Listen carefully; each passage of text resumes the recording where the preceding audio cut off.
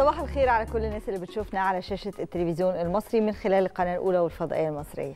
أهلا بيكم في حلقة جديدة من صباح الخير يا مصر. صباح الخير عليك يا عبد صباح الخير عليك يا منى وصباح الخير على كل المصريين اللي بيشوفونا في حلقة جديدة من حلقات صباح الخير يا مصر. حلقة يوم الجمعة جمعة مباركة على حضراتكم جميعا الموافق 13 أكتوبر 2023 في الحقيقة بنتكلم عن يوم ما حدث أو ما حدث بالأمس تحديدا لأن امبارح كان يوم غاية في الأهمية. يوم كان كله فخر وعزة وكبرياء وهو تخرج دفعات جديدة من الأكاديميات والكليات العسكرية. جيل جديد بيقول إن بلدنا بخير طول ما فيها رجالة أوفياء رجالة بيصونوا العهد رجالة بينضموا للكليات العسكرية والحربية. زي ما شفنا امبارح يوم تخرجهم اللي بصراحة كان يوم يعني غاية في الفخر والانتماء لهذا الوطن خيرة أبناء يعني أجناد الأرض تحديدا.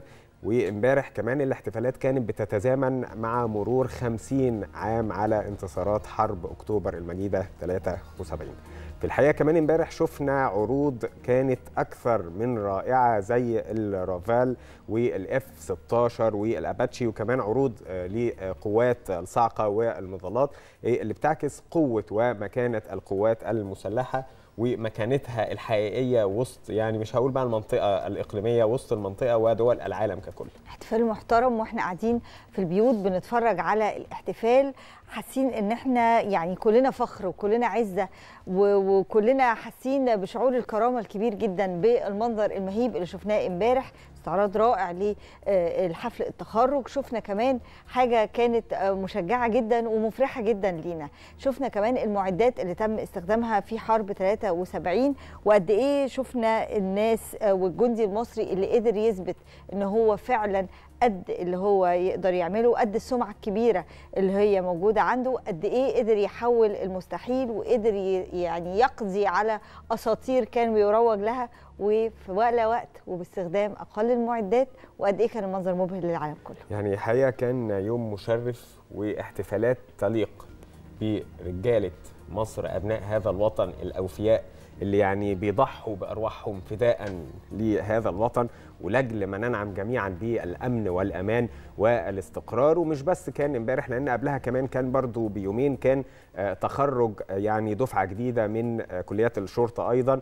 وهم دول يمكن عمود الأمان وعمود الخيمة لهذا الوطن لما بنتكلم على قواتنا المسلحة وبنتكلم على رجال الشرطة البواسل لكن امبارح في الحقيقة العالم كله يمكن توقف مش هقول بس المصريين عند كلمة السيد الرئيس عبد الفتاح السيسي اللي ألقاها بمناسبة تخرج دفعة جديدة من الأكاديميات والكليات العسكرية لأن في الحقيقة الكلمة دي كانت هي كلمة بتخص ما يحدث في المنطقة ما يحدث تحديدا في الأراضي المحتلة ما يحدث في قطاع غزة لأن الرئيس كان واضح وحاسم. بالأمس وأكد على يعني ثوابت مصر في دعم القضية الفلسطينية طيلة يعني السنوات الماضية. ومش بس السنوات الماضية لأن ده اللي قاله السيد الرئيس عبد الفتاح السيسي إن الموقف ده هو موقف ممتد منذ قديم الأزل. لأن القضية الفلسطينية لن يسمح ابدا يعني اللي هي يتم إنهائها بهذا الشكل ويتم ما يحدث الآن في يعني الأراضي الغزوية تحديدا والقصف المباشر للمدنيين العزل. هنا وكان يمكن الكلمة واضحة وقال فيها صراحة السيد الرئيس أن مصر دايما وأبدا في صدارة الدفاع عن الأمة العربية وأنه بيتم بذل كل الجهود وأن الاتصالات المصرية مستمرة ولن ولا تنتهي أبدا من أجل الحل السلمي. لهذه القضية وفقا لمرجعيات الشرعية الدولية القائم على حل الدولتين.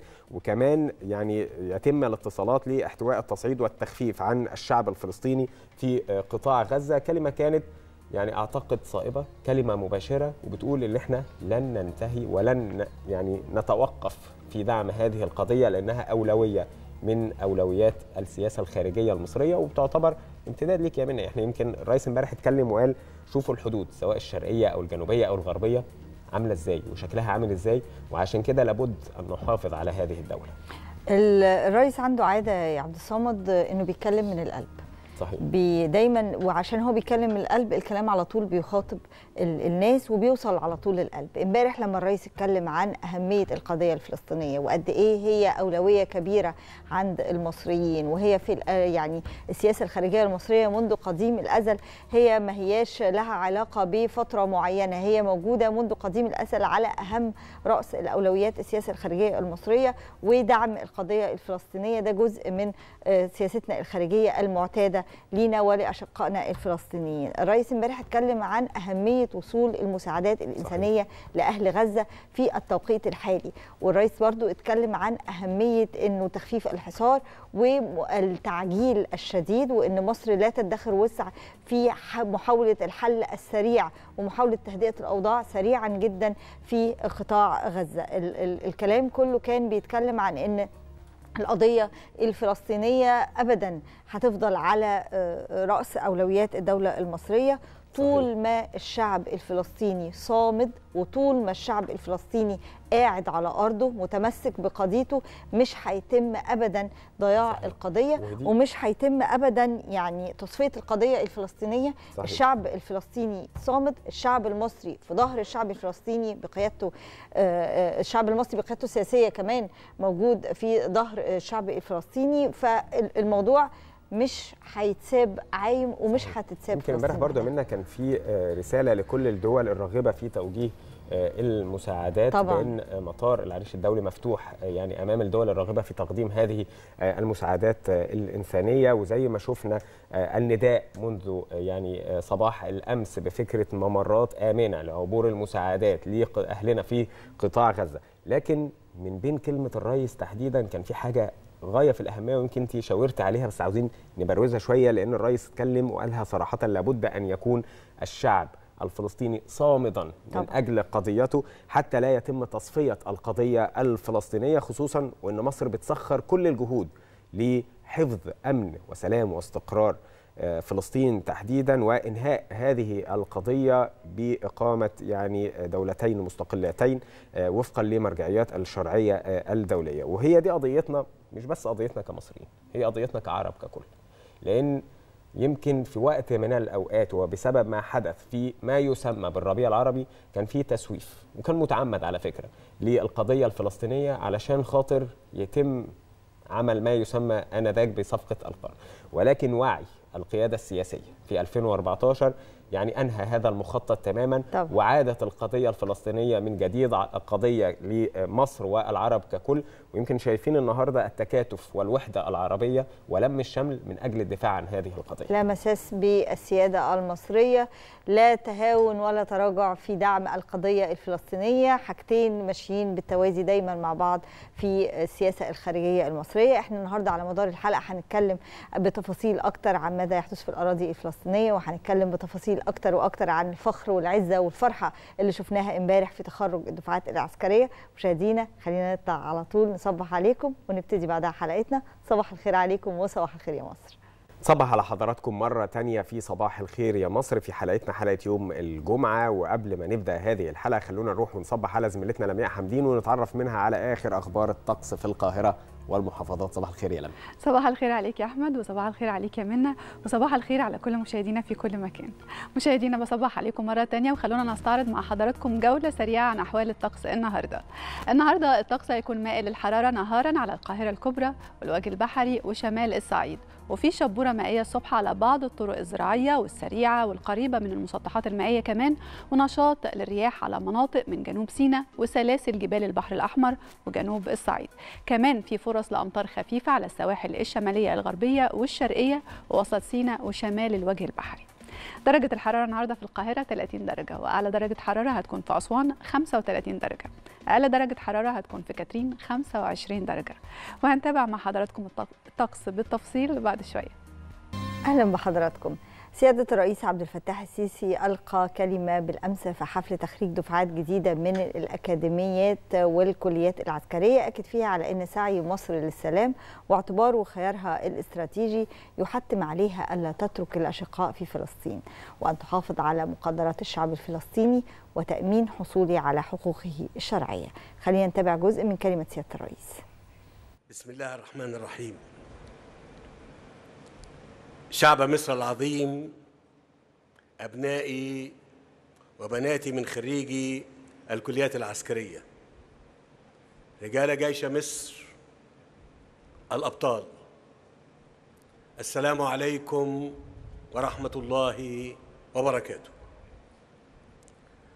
تبلغ سعادتي مداها ونحن نحتفل اليوم معا بتخريج جيل جديد من أبناء مصر الذين تعلموا في مدرسة العسكرية المصرية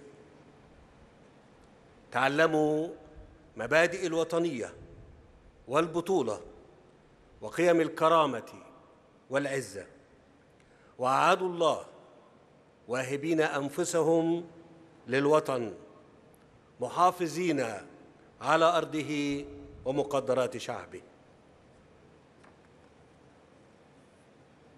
اختاروا أن يكونوا درع الوطن وسيفة. تسلحوا بالإيمان والعلم والوطنية في هذه الأكاديمية العسكرية العريقة. أوجه لكم تهنئة ممزوجة بكل الأمنيات القلبية الطيبة بانضمامكم إلى صفوف القوات المسلحة المصرية لتنضموا إلى خير أجناد الأرض.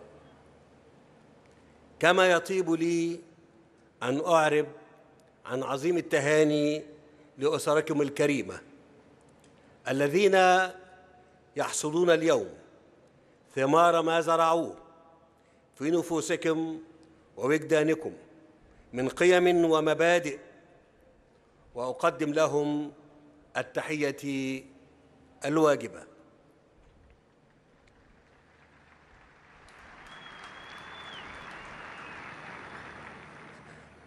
وأود كذلك أن أغتنم هذه الفرصة مع هذا الجمع الكريم لتوجيه تحية تقدير وإجلال لشهداء مصر الأبرار الذين قدموا أرواحهم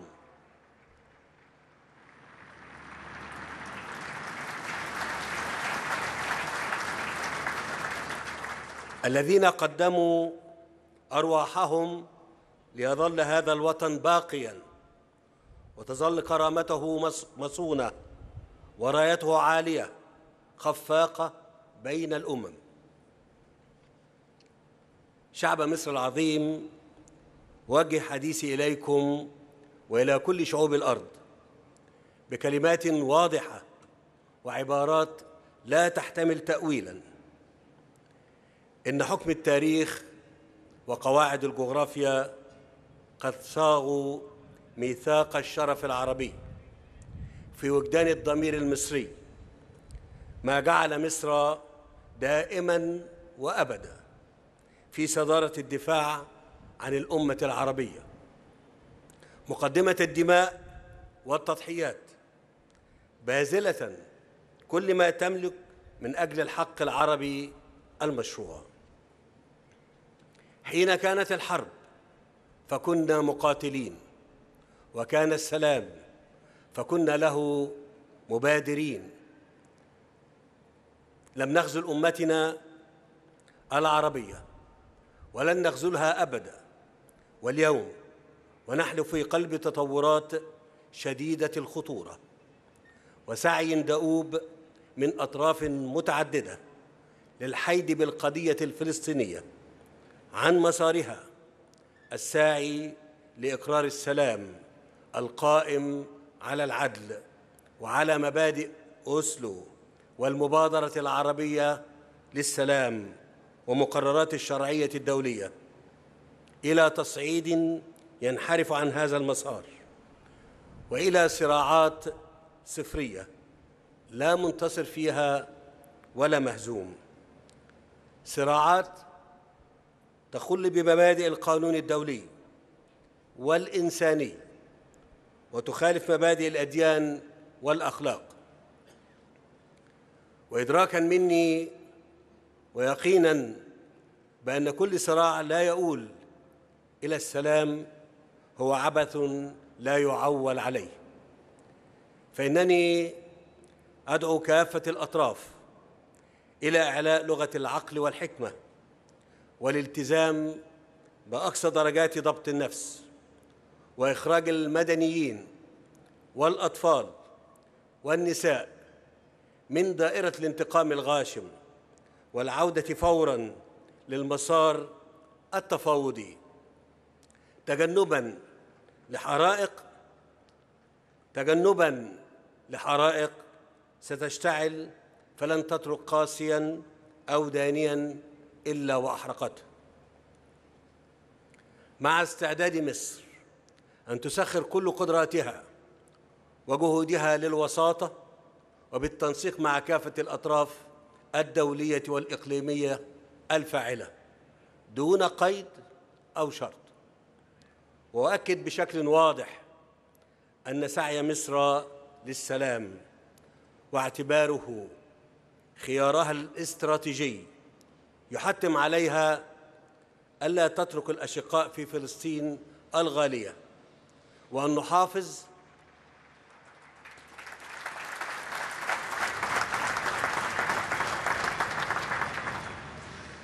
وأؤكد بشكل واضح أن سعي مصر للسلام واعتباره خيارها الاستراتيجي يحتم عليها ألا تترك الأشقاء في فلسطين الغالية.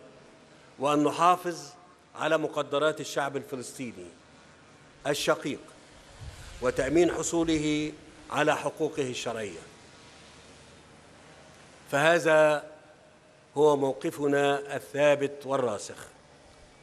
وليس بقرار نتخذه بل هو عقيدة كامنة في نفوسنا وضمائرنا.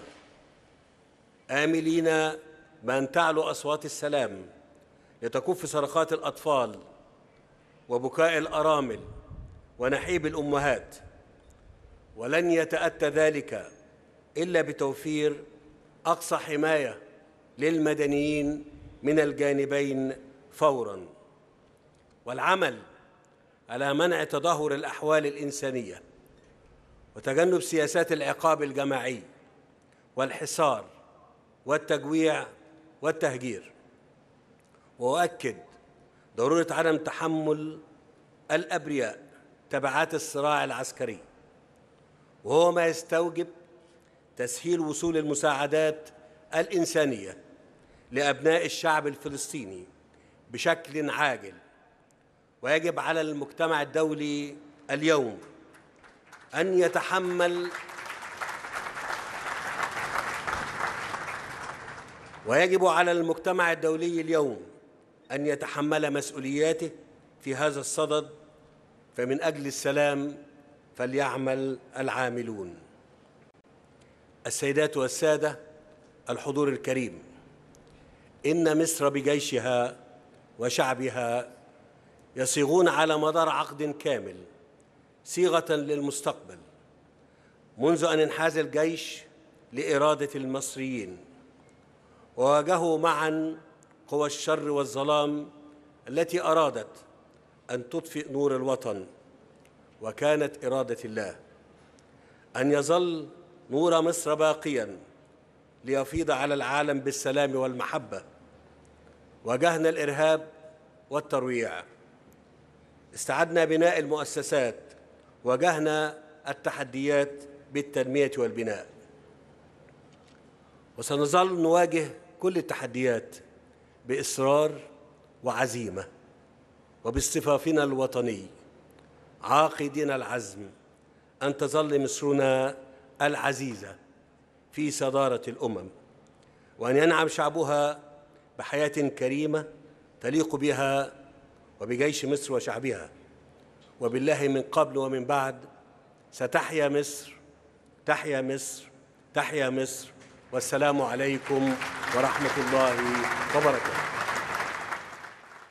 سنظل نواجه كل التحديات بإصرار وعزيمة. كمان امبارح السيد الرئيس عبد الفتاح السيسي قال إن مصر بتبذل كل جهد لإحتواء التصعيد الراهن في غزة وإن الدولة المصرية حريصة على وصول المساعدات سواء كانت الطبية أو الإنسانية إلى قطاع غزة في هذا التوقيت الصعب.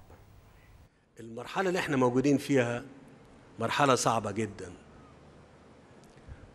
وأنا مش عايز أقول كلام كتير أكيد أنتم متابعين كل شيء. وإحنا بنبذل جهد كبير جدا جدا لاحتواء التصعيد اللي موجود والاقتتال اللي موجود وبنحاول نصل إلى وقف الاقتتال وأيضا التخفيف عن الشعب الفلسطيني في قطاع غزة. واتصالاتنا لا تنتهي.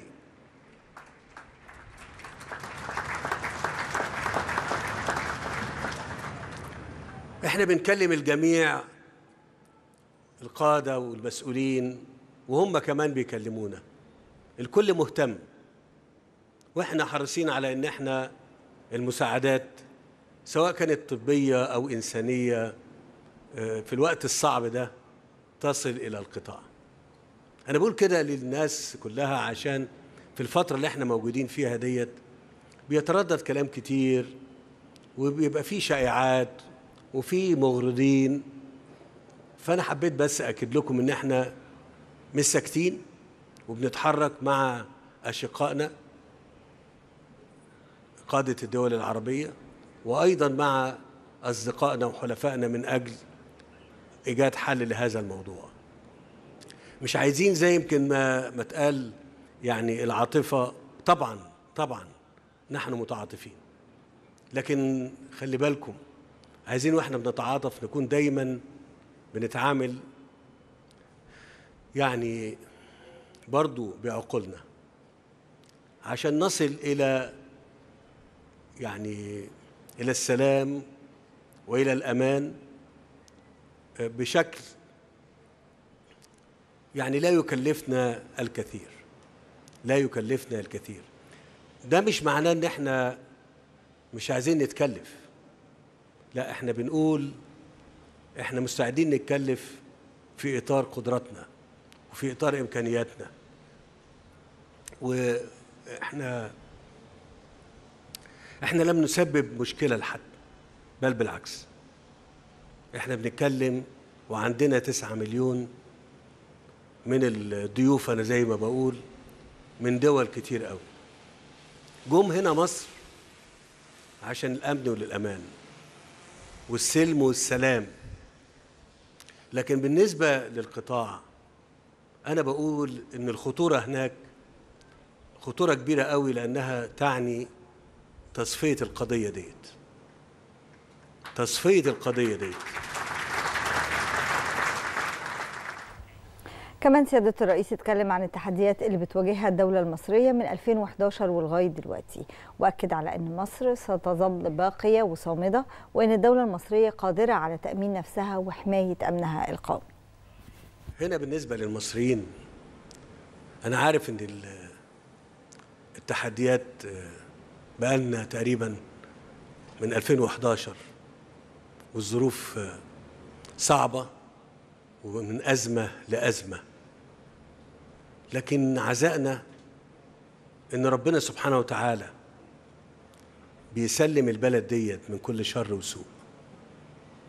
وكان الأمر مرتبط مش هقول بحاجة بسيطة حياة وتكلفتها لكن في فرق كبير جدا بين تكاليف حياة وبين إهدار حياة. بين تكاليف حياة ممكن تبقى غالية علينا وبين إهدار حياة وخراب دول. مصر هتفضل بفضل الله سبحانه وتعالى. باقية صامدة قادرة بيكم أنتم. ومحدش هيقدر محدش يستطيع المساس بمصر إلا من خلالكم. لكن قدرة مصر على تأمين نفسها وحماية نفسها بفضل الله سبحانه وتعالى كافية. لكن شعبها كمان شعبها كمان شعبها كمان هو كمان مسؤول معانا على على حفظ مصر وأمنها. اوعوا اوعوا حد اوعوا حد يزين لكم أو ي- يفتنكم ويخليكم يعني كفاية خراب الدول الأخرى. مش عايز أطول عليكم أكتر من كده. مبروك ال- مبروك أبنائنا وبناتنا اللي اتخرجوا النهارده ومبروك لأسركم وربنا يا رب يحفظكم وتبقوا دايما دايما ذخر وقوة وقدرة لمصر. شكرا جزيلا. والسلام عليكم ورحمة الله وبركاته. يعني طبعا ألف مبروك لكل الخريجين الجدد من الأكاديميات والكليات العسكرية القوة الحقيقية لهذا الوطن. امبارح كمان على هامش هذه الاحتفالية كان في لقاء خاص مع الفريق أشرف سالم زاهر مدير الأكاديمية العسكرية المصرية. تعالوا نتابع هذا اللقاء. الحمد لله يوم سعيد جدا اليوم. آه، بهنئ الدفعة 117 وما يعادلها من جميع طلبة الكليات العسكرية بهذا اليوم. آه، بأكد عليهم يحافظوا على أنفسهم وجميع اللي اتعلموه داخل الأكاديمية سواء من علم أو انضباط أو لياقة بدنية. زي ما قلت من البداية إحنا كنا مهتمين جدا بتقديم حفل مختلف هذا العام آه، بمناسبة اليوبيل الذهبي لانتصارات أكتوبر. آه، مع طبعا الحدث الأكبر بالنسبة لنا وهو نهاية الدراسة بالنسبة لأبطال ال- داخل الأكاديمية أو الكليات العسكرية. قدمناه بشكل جديد مختلف شوية. لو لاحظنا هنلاقي إن إحنا نفذنا آه، عرض بالمعدات اللي شاركت في أكتوبر. وأيضا آه، في نفس الوقت عاملين أحدث آه، منظومة الأسلحة اللي متواجده داخل القوات المسلحة في الوقت الحالي.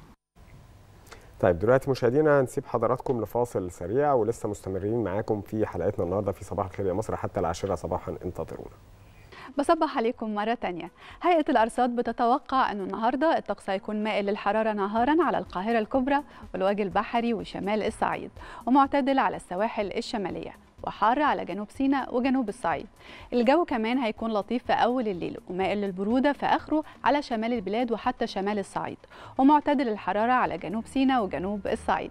كمان في شبورة مائية الصبح على بعض الطرق الزراعية والسريعة والقريبة من المسطحات المائية. ونشاط للرياح على مناطق من جنوب سيناء وسلاسل جبال البحر الأحمر وجنوب الصعيد.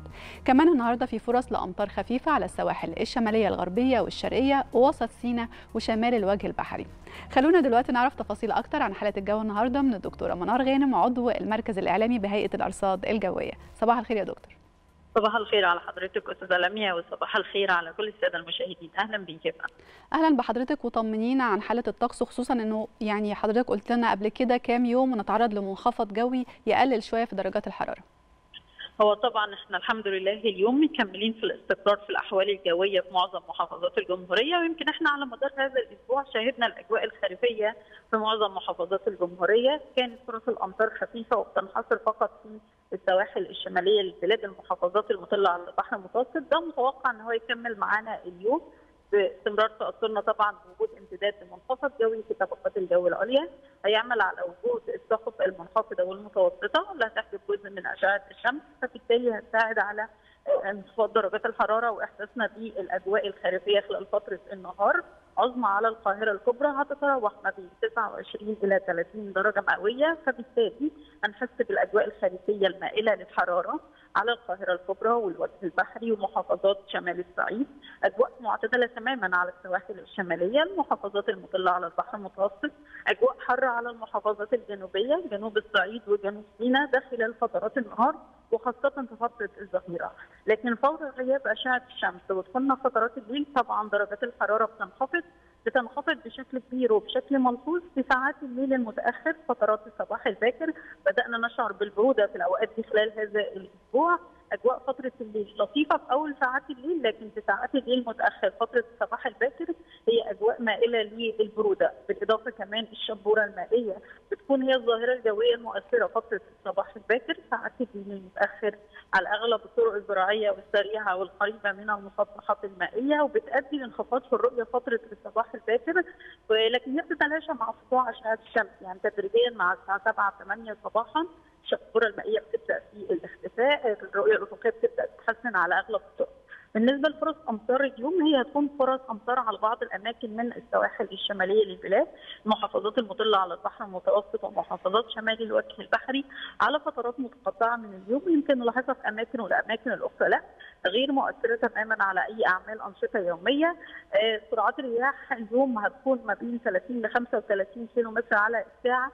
وهتنحصر في المناطق الجنوبية شمال وجنوب الصعيد وجنوب سيناء. هتزود احساسنا بانخفاض درجات الحرارة غير مثيرة لأي رمال وأتربة. هي الأجواء مستقرة تماما اليوم غدا إن شاء الله متوقع إن المنخفض الجوي قبل غدا. حركة الملاحة البحرية على البحرين أخبارها إيه دلوقتي؟ هو طبعا في اعتدال في سرعات الرياح على البحرين فده بيؤدي إلى اعتدال حركة الملاحة البحرية على البحرين الأحمر والمتوسط، ارتفاع الأمواج على البحر المتوسط لا يتجاوز ل 2 متر، فبالتالي مؤهل لكافة أعمال الصيد والملاحة البحرية وأعمال التنزه، بالنسبة للبحر الأحمر أيضا معتدل ارتفاع الأمواج فيه ما بين 1.5 ل 2 وربع متر ومؤهل لكافة أعمال الصيد والملاحة البحرية وأعمال التنزه. آه، طبعا إحنا كنا متوقعين وقلنا مع حضراتكم إن إحنا من غدا إن شاء الله. هيبدأ يأثر علينا تعمق المنخفض الجوي بشكل كبير في جمهورية مصر العربية. فبالتالي فرص الأمطار هتزيد وكميات الأمطار هتزيد على المحافظات الشمالية وتصبح أمطار خفيفة إلى متوسطة. على السواحل الشمالية ومحافظات شمال الوجه البحري وقد تمتد كمان الأمطار خفيفة لمناطق من جنوب الوجه البحري والقاهرة الكبرى مع انخفاضات طفيفه في قيم درجات الحرارة. فترة النهار وأيضا فترات الليل. زيادة الأمطار اللي إحنا ممكن نشهدها بكرة دي هتكون أكتر فين في محافظات إيه؟ وهل هتأثر على آه، يعني أعمالنا اليومية ولا لأ؟ هي طبعا الأمطار هتزيد إحنا اليوم بنقول أمطار خفيفة على المناطق الساحلية ويمكن كمان كان أمس أمطار خفيفة. آه، غدا إن شاء الله هتكون أمطار خفيفة إلى متوسطة يعني خفيفة في أماكن متوسطة في أماكن من آه، المحافظات المطلة على البحر المتوسط مرورا بمطروح آه، الإسكندرية البحيرة كفر الشيخ الدقهليه دمياط بورسعيد رفح العريش كمان بعض الأماكن من مدن القناة لكن المناطق الداخلية الامطار فيها خفيفة وإن شاء الله هو في تعاون كامل بين وبين المحافظات فبالتالي إن شاء الله كميات الامطار ما تأثرش تماما على أي أعمال أنشطة يومية. بشكرك في النهاية شكرا جزيلا الدكتوره منار غانم عضو المركز الإعلامي بهيئة الأرصاد الجوية. دلوقتي مشاهدينا تعالوا نتابع درجات الحرارة المتوقعة النهارده ونبدأها بالقاهرة للعظمى فيها 30 والصغرى 22 العاصمة الإدارية 30 21 اسكندرية 27 21 العلمين الجديدة 26 21 مطروح 27 20 دمياط 29 22 بورسعيد 28 22 الإسماعيلية 30 20 السويس العظمى فيها 31 والصغرى 21 العريش 29 20 كاترين 25 16 طابة 31 24 حلايب 32 26 شلاتين 34 25 شرم الشيخ 34 26 الغردقة 33 25 الفيوم العظمى فيها 30 والصغرى 19 بني سويف 31 19 الوادي الجديد 33 20 أسيوط 31 18 سوهاج 34 21 قنا 34 22 الأقصر 35 23 وأخيرا أسوان العظمى فيها 35 والصغرى 24 مشاهدينا دي كانت درجات الحرارة المتوقعة النهارده ودي كمان تعليمات هيئة الأرصاد الجوية.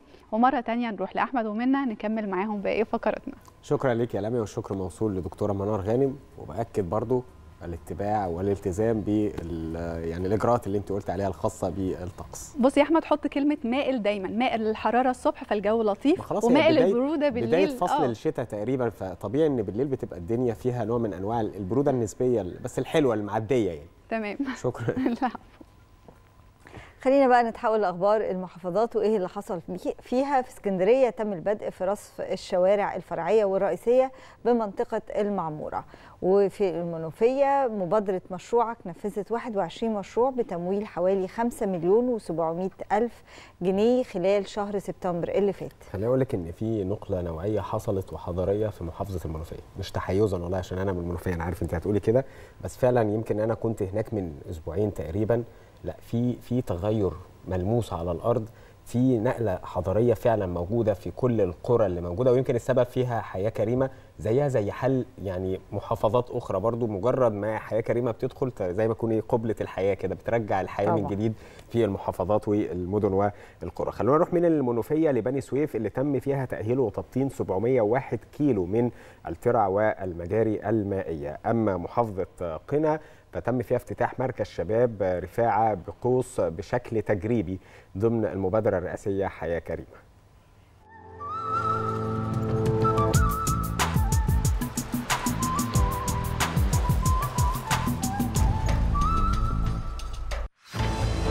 محافظات مصر شهدت امبارح أخبار وأحداث كتيرة. في الإسكندرية تم بدء أعمال الرصف بعدد من الشوارع الفرعية والرئيسية وأعمال تطوير المنشآت الصحية والتعليمية عشان يستفيد منها نحو 12 ألف أسرة من أهالي المعمورة البلد.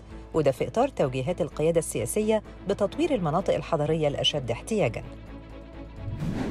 في الدقهلية شهدت المحافظة اصطفاف المعدات الهندسية للمراكز والمدن والأحياء وشركة مياه الشرب والصرف الصحي للوقوف على مدى استعداد وجاهزية أجهزة المحافظة لمجابهة الأزمات والكوارث والسيطرة عليها. وبلغ إجمالي عدد المعدات بالوحدات المحلية بنطاق المحافظة ما يقرب من ألف معدة متنوعة. في المنوفية أعلنت المحافظة أن فرص العمل اللي وفرها المشروع القومي للتنمية المجتمعية والبشرية والمحلية مشروعك خلال شهر سبتمبر الماضي بلغ 38 فرصة عمل بنطاق المحافظة وده من خلال تنفيذ 21 مشروع بتمويل 5 مليون و707 ألف جنيه لتوفير التسهيلات اللازمة وتعظيم دور مبادرة مشروعك وتشجيع الشباب على العمل الحر وتنمية المشروعات الصغيرة والمتوسطة ومتناهية الصغر. في أسوان نظم فرع المجلس القومي للمرأة 8250 زيارة منزلية استهدفت توعية 49 ألف من السيدات والرجال والأطفال بقرى ونجوع مركزي إدفو وكومومبو ضمن فعاليات الحملة الممتدة لطرق الأبواب بلدي أمانة. وده في إطار المشروع القومي لتنمية الأسرة المصرية اللي أطلقه الرئيس عبد الفتاح السيسي لدعم محاور التمكين الاقتصادي والاجتماعي والثقافي للأهالي والمواطنين. في المنيا أعلنت المحافظة أن مديرية الصحة قدمت الخدمات الطبية والعلاجية لما يقرب من 209361 حالة على مدار شهر سبتمبر الماضي ضمن مجموعة من القوافل الطبية والعلاجية المتنوعة نظمتها المديرية على مستوى مراكز وقرى المحافظة من خلال نخبة من الأطباء بكافة التخصصات. وده لتوفير خدمات طبية مجانية للفئات الأولى بالرعاية في القرى والمناطق الأكثر احتياجاً. في بني سويف أكدت المحافظة إن إجمالي ما تم تبطينه وصل ل 701.430 كيلو متر من إجمالي أطوال الأعمال المستهدف تنفيذها لمشروع تأهيل وتبطين البنية التحتية المائية من الترع والمجاري المائية وده وسط حالة من تذليل المعوقات بالتنسيق مع الجهات والوزارات المعنية.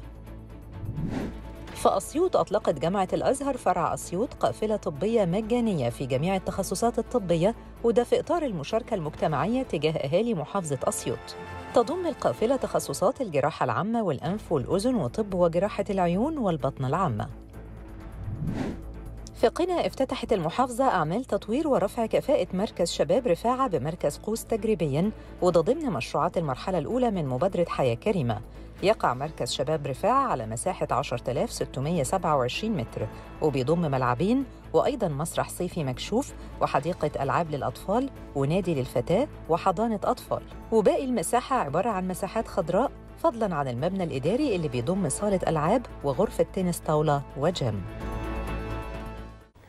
امبارح انطلقت فعاليات معرض الشيخ زايد للكتاب وكان تحت شعار الثقافة والنصر وده تخصيص الدورة السنة دي للاحتفال باليوبيل الذهبي لنصر أكتوبر المجيد. المعرض بيتضمن صالة عرض رئيسية بيشارك فيها أكثر من 120 ناشر وده جنب تنظيم مجموعة من الندوات لكبار الكتاب والمؤلفين. خلينا نشوف.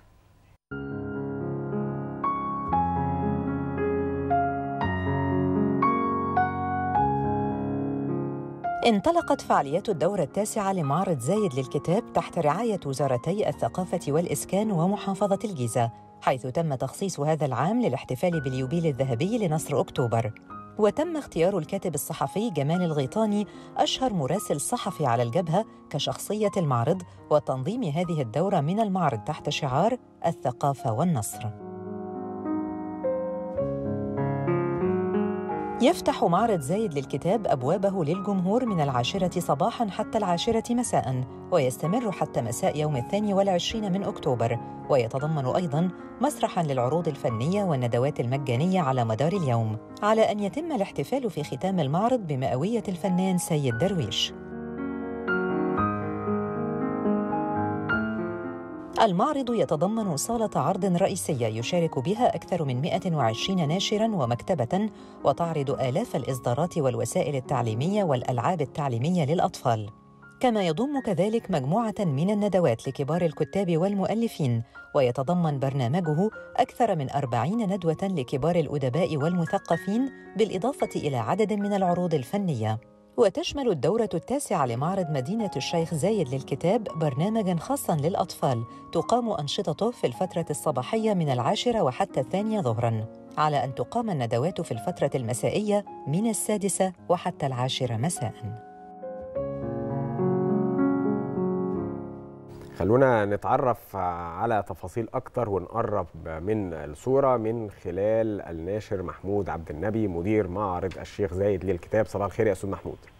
صباح الخير يا أستاذ أحمد وصباح الخير يا أستاذة منى وصباح الخير على السادة المشاهدين. صباح الفل على حضرتك. يعني عاوزين حضرتك تكلمنا عن الفعاليات للشهادة اليوم الأول لانطلاق معرض الشيخ زايد للكتاب وهيستمر يعني كام يوم؟ المعرض يقام على مساحة 3000 متر ودي الدورة التاسعة. المعرض بيضم زي ما ذكر التقرير أكثر من 120 ناشر. 3000 متر بس المكان فين؟ المكان في مدينة الشيخ زايد الحي الأول. تمام. أمام مستشفى بهية شارع الروضة. عظيم جدا. المعرض دي دورته التاسعة على مدار تسع سنين بيقام. ده مقام لخدمة سكان أهالي الشيخ زايد ومدينة الجيزة ككل. المعرض بيضم فعاليات زي ما ذكر التقرير وندوات وأنشطة للأطفال ورش تعليم رسم وتلوين وصلصال المعرض يعتبر متنفس ورئة للقراء في مدينة الشيخ زايد. وإحنا مستمرين بفضل ودعم جهاز مدينة الشيخ زايد ومحافظه تخصيص الدورة التاسعة أو العشرة زي ما حضرتك بتقول السنة دي للاحتفال باليوبيل الذهبي لنصر أكتوبر. إيه الفعاليات اللي هتتعمل علشان نحتفل ب 50 عام على مرور حرب أكتوبر أو على النصر في حرب أكتوبر المجيد؟ يعني التصادف والتزامن الجميل بمناسبة اليوبيل الذهبي لنصر أكتوبر المجيد ده مخلينا عاملين أكتر من ندوة. موجود معانا كان في اليوم الأول مجموعة 73 مؤرخين ودي كانت ندوة ثرية جدا. كان فيها أكثر من لواء وأكثر من بطل من أبطالنا في حرب أكتوبر المجيد. حكوا للجمهور وحكوا لقراء مدينة الشيخ زايد الأبطال بتاعت الأمجاد والأبطال والمعارك اللي خدوها بنفسهم وده كان بالنسبة لنا شرف كبير إن إحنا نسمع من أبطال حرب أكتوبر اللي, اللي خاضوا المعركة بنفسهم آه إزاي يواجهوا العدو وإزاي كانوا أبطال لغاية آخر لحظة في النصر.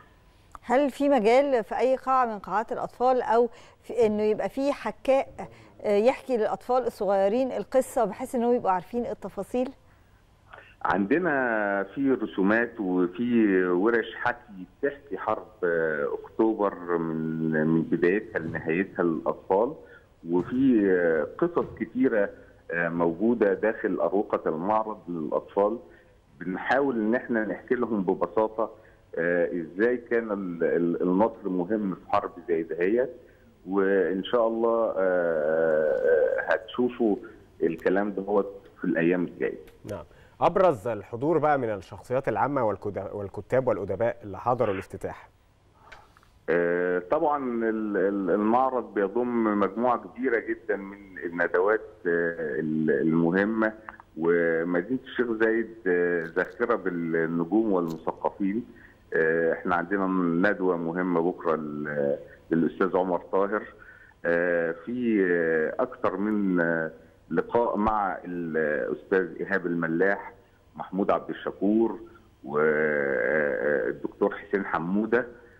برضو ندوات مهمة جدا جدا نتمنى جمهور مدينه الشيخ زايد إن هو ينتظرها ويترقبها ويجي يشاهد معانا اللقاءات المهمة دي مع المثقفين والنقاد والمفكرين. نعم. بنشكر حضرتك الأستاذ محمود عبد النبي الناشر ومدير معرض الشيخ زايد للكتاب. مشاهدينا الساعة دلوقتي 8 بتوقيت القاهرة. معدنا مع موجز لأهم الأنباء مع لميا اتفضلي لميا شكرا لك منا الثامنة صباحا بتوقيت القاهرة الخامسة بتوقيت جرينتش موجز الأخبار من التلفزيون المصري. أهلا بكم.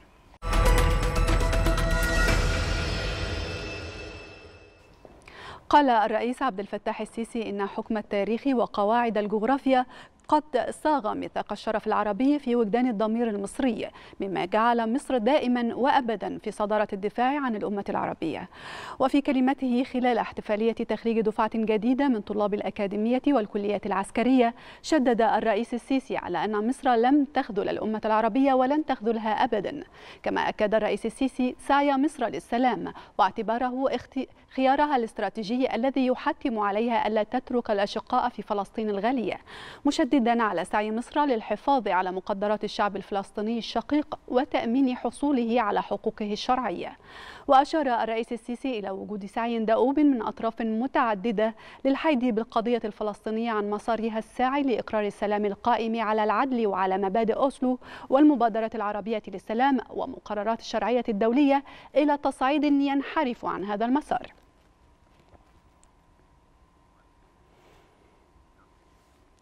أعرب الممثل السامي للاتحاد الأوروبي للشؤون الخارجية والسياسة الأمنية جوزيف بوريل عن دعمه لدعوة مصر لتوصيل المساعدات الإنسانية الدولية التي تشتد الحاجة إليها في قطاع غزة عبر مطار العريش. وأعرب عبر منصة إكس عن شكره لإعلان مصر أن معبر رفح سيظل مفتوحا وعاملا بما في ذلك نقل المساعدات الإنسانية وحالة الطوارئ.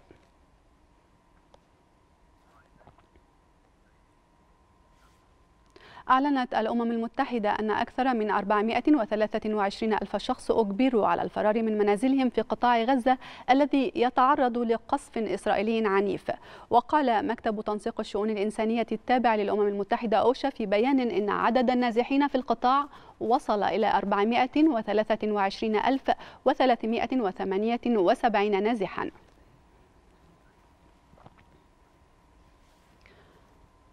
أطلقت الأمم المتحدة نداء عاجلا لجمع تبرعات بقيمة 294 مليون دولار من أجل مساعدة السكان في كل من قطاع غزة والضفة الغربية المحتلة. وقال مكتب الشؤون الإنسانية التابع للأمم المتحدة أوشا في بيان إن المبلغ يهدف لمساعدة أكثر من 1.2 مليون شخص في غزة والضفة الغربية محذرا من أن المنظمات الإنسانية لم تعد لديها الموارد اللازمة للاستجابة بشكل مناسب لاحتياجات الفلسطينيين الضعفاء حذرت منظمة الصحة العالمية من أن النظام الصحي في قطاع غزة على شفا الانهيار. وأضافت المنظمة أن كل ساعة تمر تقلل من الفرص المتاحة لمنع وقوع كارثة إنسانية إذا تعذر إيصال الوقود والإمدادات الصحية والإنسانية اللازمة لإنقاذ الأرواح. وذلك إلى قطاع غزة على وجه السرعة بسبب الحصار الكامل المفروض عليها ولفتت الصحة العالمية إلى أنه فيما يتعلق بالمستشفيات فإن الكهرباء لم تعد متوفرة لها إلا لساعات قليلة كل يوم مع الاضطرار إلى الاعتماد على نظام حصص لتوزيع الكميات القليلة المتبقية من احتياطيات الوقود والاعتماد على المولدات لضمان استمرار الأعمال بالغة الأهمية. أعلنت وزارة الصحة الفلسطينية ارتفاع حصيلة عدوان الاحتلال الإسرائيلي على الضفة وقطاع غزة إلى 1385 شهيدا و6229 جريحا. وأوضحت الصحة في بيان مقتضب أن حصيلة الشهداء ارتفعت في قطاع غزة إلى 1354 شهيدا و6049 مصابا فيما بلغت الحصيلة في الضفة الغربية 31 شهيدا و180 مصابا. وأن نحو 60% من المصابين في قطاع غزة من النساء والأطفال.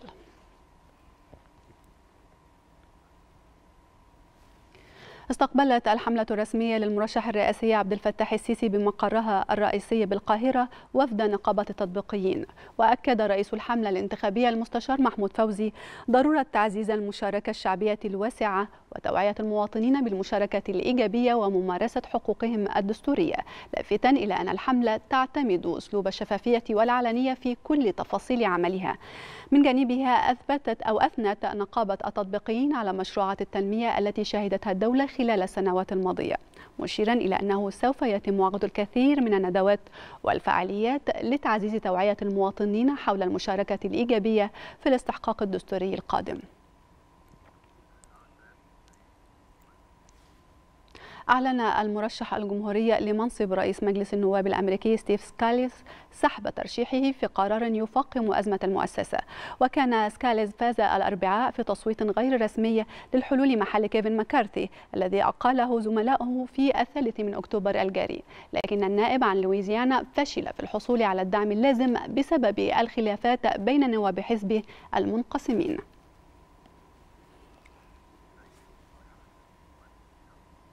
مشاهدينا انتهى موجز الثامنة ونعود لاستكمال باقي فقرات صباح الخير يا مصر بعد الفاصل. رحب بحضراتكم مرة تانية في صباح الخير يا مصر ودلوقتي تعالوا نشوف أهم الأخبار والأحداث اللي هتحصل النهاردة بمشيئة المولى عز وجل وكمان المباريات اللي هتتلعب في الجولة السابعة من التصفيات الأوروبية المؤهلة لليورو.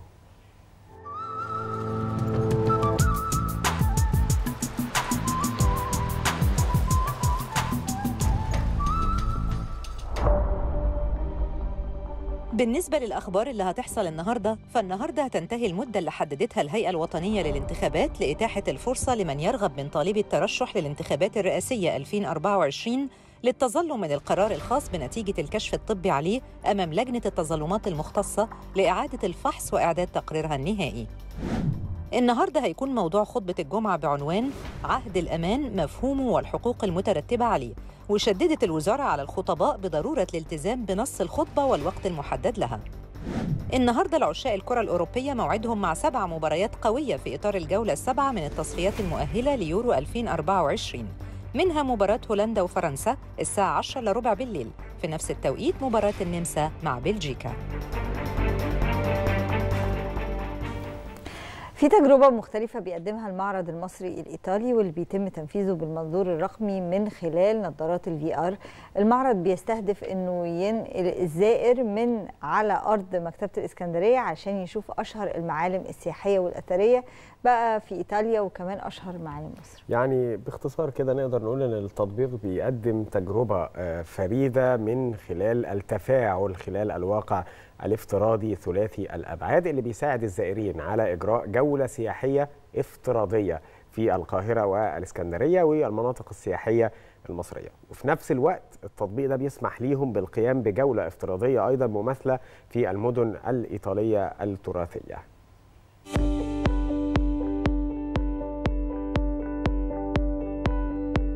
جولات بصرية ينظمها متحف الآثار بمكتبة الإسكندرية من خلال معرض رقمي يركز على التراث الثقافي المصري والإيطالي، حيث يشمل المعرض تطبيقاً تفاعلياً في الواقع الافتراضي ثلاثي الأبعاد حول التراث المشترك بين البلدين، يستمتع من خلاله الزائرون بمدينة القاهرة ومناطقها السياحية، كما يستمتع بجولة افتراضية مماثلة في المدن الإيطالية، بالإضافة إلى مشاهدة مجموعة فريدة من الصور للقاهرة وروما وفلورنسا والبندقية وغيرها من المدن الأثرية والتراثية. فكرة المعرض تعتمد على نظارات رقمية بتقنية ال VR يستطيع الزائر أن يتنقل من على أرض الإسكندرية ليشاهد أشهر المعالم السياحية والأثرية في إيطاليا. وعلى التوازي تستطيع أن تأخذ جولة سياحية بداخل مجموعة من متاحف مكتبة الإسكندرية العامة. منها متحف السادات والمخطوطات ومتحف الفنان العالمي شادي عبد السلام. كما يستطيع بواسطة هذه التقنية القيام بجولة افتراضية للاستمتاع بأجواء نهر النيل والتجول حول الأهرامات بواسطة الجمل. يساهم المعرض في مساعدة المواطنين على استكشاف تاريخ المدن والتعرف عليه بواسطة التقدم التقني، كما أنه يستهدف تحسين صورة مصر حول العالم مما يساهم في دعم السياحة وفرص العمل في هذا القطاع.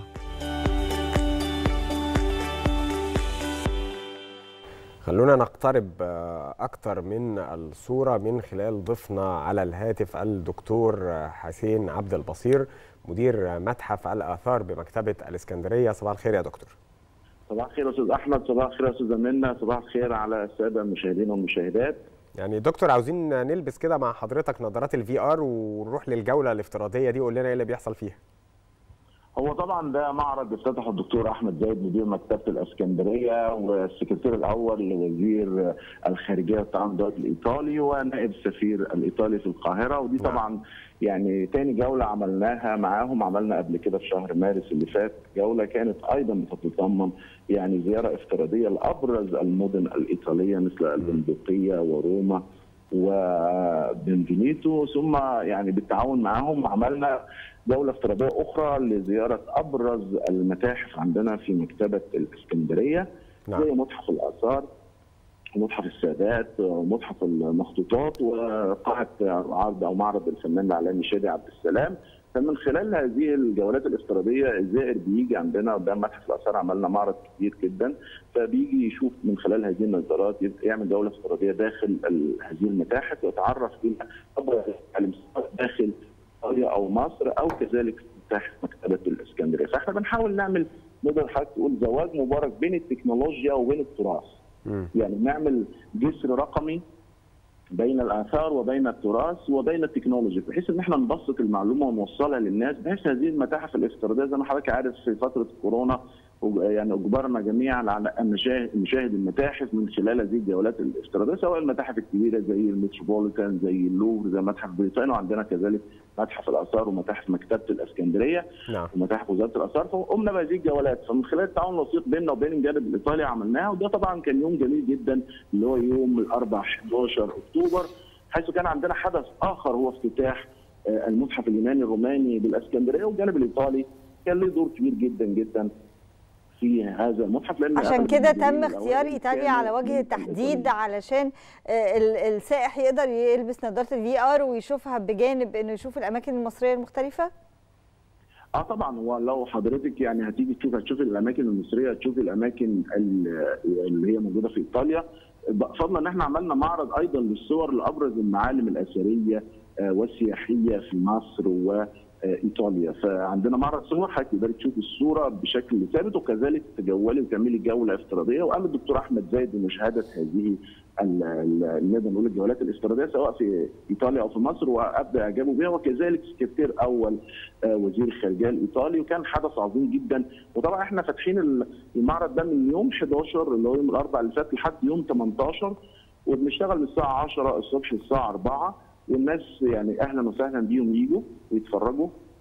وفي إقبال كبير جدا جدا سواء من زوار المكتبة أو العاملين في المكتبة على هذا المعرض. وبصراحة حضرتك هتيجي قدام متحف الآثار تلاقي إقبال مهول لأن الناس مستمتعة بهذه التجربة وسعداء جدا بيها. وإن شاء الله بعد كده نقدر نعمل جولات أخرى ونستمتع إزاي إن إحنا نتعلم التراث ونحبه ونعشقه بالشكل الجميل دوت اللي بيخلي التكنولوجيا الحديثة تبسط المعلومة للأطفال والشباب والناس وكمان الناس لو هي قوي بعيدا طبعا عن المكتبة أو بعيدا عن المتاحف بتاعتنا تقدر تشوف هذه الآثار في جولات افتراضية أونلاين ده شيء عظيم جدا جدا وده اللي إحنا بنعمله باستمرار.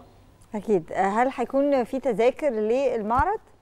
لا المعرض for free يعني مجاني وزي ما قلت سيادتك يعني يعني من 11 ل 18 والناس يعني بكرة السبت إن شاء الله تعالى من الساعة 10 الصبح للساعة 2 الناس تنورنا في متحف الاثار في مكتبة الإسكندرية وتستمتع بهذه الجولات الافتراضية. المكتبة مؤسسة غير ربحية زي ما سيادتك عارفة وهي نافذة للثقافة على العالم ونافذه العالم على مصر زي ما إحنا بنقول نافذه مصر على العالم ونافذه العالم على مصر فكل الحاجات اللي إحنا بنعملها في مكتبة الإسكندرية الهدف منها نشر الوعي وتنمية الإبداع وبث طبعا روح المتعة والثقافة بين الجماهير سواء المصريين أو العرب أو الأجانب لأن مكتبة الإسكندرية تمارس الدور العظيم التي قامت به المكتبه قديما في عهد البطالمة عندما كانت الإسكندرية حاضرة للثقافة في البحر المتوسط. صحيح. يعني يعني هو مهم جدا كمان يا دكتور دخول التكنولوجيا. مهم جدا دخول التكنولوجيا يعني أنا ممكن أطلق عليها مجازا التكنولوجيا السياحية ونقدر ان إحنا نوظفها لتعظيم الاستفادة من الموارد التي نمتلكها. لكن شايف إن النوع ده تحديدا في مصر من السياحة هيكون أكثر جذبا ل يعني زوار جدد ونقدر بعد كده نعمم هذه التجربة على المتاحف اللي بتمتلكها الدولة المصرية على منصات للدخول عليها من خلال أي دولة من دول العالم؟ طبعا أنا بشكر سيادتك على هذا المصطلح أو الترم الجميل وفعلا ده شيء عظيم وإن إحنا لازم نزيد من هذا الأمر لأن سيادتك لما بتعمل دولة افتراضية أستاذ أحمد بتتشوق أن تزور هذه الآثار صحيح. في الواقع فدي نوع من أنواع التسويق زي ما إحنا بنعمل معارض الآثار في الخارج الناس بتشوف توت عنخ آمون ورمسيس والمومياوات فبيشوفوا جزء من الحضارة المصرية لكن لما حضرتك بقى بتعمل لهم عارف زي ما حضرتك مثلا آه يعني appetizer كده مشهيات أو جاذبات الحضاره المصرية لكن لما يجي يشوف بقى الحضارة المصرية على الطبيعة ويستمتع بالجو, بالجو في مصر وبعظمة الشعب المصري والضيافة وكل هذه الأجواء تبقى تجربة يعني نقدر نقول ساحرة واللي بيجي مصر والله مرة دايما بيجي كل مرة وبيستمتع والناس ما بتشبعش. من جمال اثار وخاصة لو إحنا عملنا إتاحة لده يعني مش هنقول لكل المتحف بشكل عام لو جزء بسيط منه لأن أحيانا أي زائر نازل لمحافظة مثلا من المحافظات المصرية ما بيبقاش عارف أروح أزور إيه. طب وهل لو رحت زرته هيبقى كويس ولا لأ؟ أو هضيع فيه وقت ولا هيكون مفيد بالنسبة لي؟ فلو أنا اديته نبذة كده عن ما هو متاح للعرض داخل هذا المتحف أعتقد هيبقى نوع من أنواع الدعاية للمتاحف المصرية. يعني. طبعا إحنا بنعمل ده وعندنا أصلا متحف الاثار في مكتبة الإسكندرية امتلك موقعا لمتحف إفتراضي يا فندم واخذنا عليه جائزه عالمية في هذا الشأن وإحنا بنتابع مع زمايلنا في مكتبة الإسكندرية في ال IT department الناس اللي هم بتاع ال information technology بحيث إن إحنا نعمم هذه الأمور على كل المتاحف داخل المكتبة والناس تستفيد بيها. يعني حضرتك عارف إن من خلال الجولات الافتراضيه سيادتك بتتجاوز حدود كثيره المكان صحيح. والزمان. لو سيادتك مثلا مقيم في الولايات المتحدة الأمريكية تقدر حضرتك تشوف هذا المتحف وعلى على البعد. وكذلك تشوفه بالليل أو بالنهار. ما أنتش حضرتك مرتبط بمواعيد الزيارة الرسمية بتاعت المتاحف. صحيح. فكل ده بيساهم في هذا الأمر. فضلا عن وزارة السياحه والآثار وكذلك الثقافة بدأوا يقوموا بهذه الجولات الافتراضية يسوقوا لتراثنا الحضاري والثقافي والأثري الجميل بحيث إن إحنا كل يعني مكان في العالم تبقى موجودة فيه كلمة مصر من خلال الثقافة والسياحة والإبداع وكل شيء جميل لأن مصر دائما أنا أقول هي أول كلمة في كتاب التاريخ وأهم موقع في كتاب الجغرافيا ومصر دولة عظمى ثقافيا قديما وحديثا. صحيح. كل الشكر ليك الدكتور حسين عبد البصير مدير متحف الأثار بمكتبة الإسكندرية. شكرا جزيلا لحضرتك. طيب خلونا نروح لمسابقة أخرى بيتم تنظيمها في الإسكندرية أيضا من أجل تمكين الشباب للمساهمة في الحد من الانبعاثات الكربونية والتكيف مع تغيرات المناخ للخروج بافضل بأفضل الأفكار لمشروعات البيئة. خلينا نتعرف على تفاصيل أكتر. معانا على التليفون الدكتورة ريهام عبد الحميد مدير برنامج دراسات التنمية المستدامة بمكتبة الإسكندرية. أهلا وسهلا بيكي دكتورة ريهام صباح الخير. أهلا وسهلا بيكم صباح النور. أهلا صباح وسهلا. الفل على حضرتك.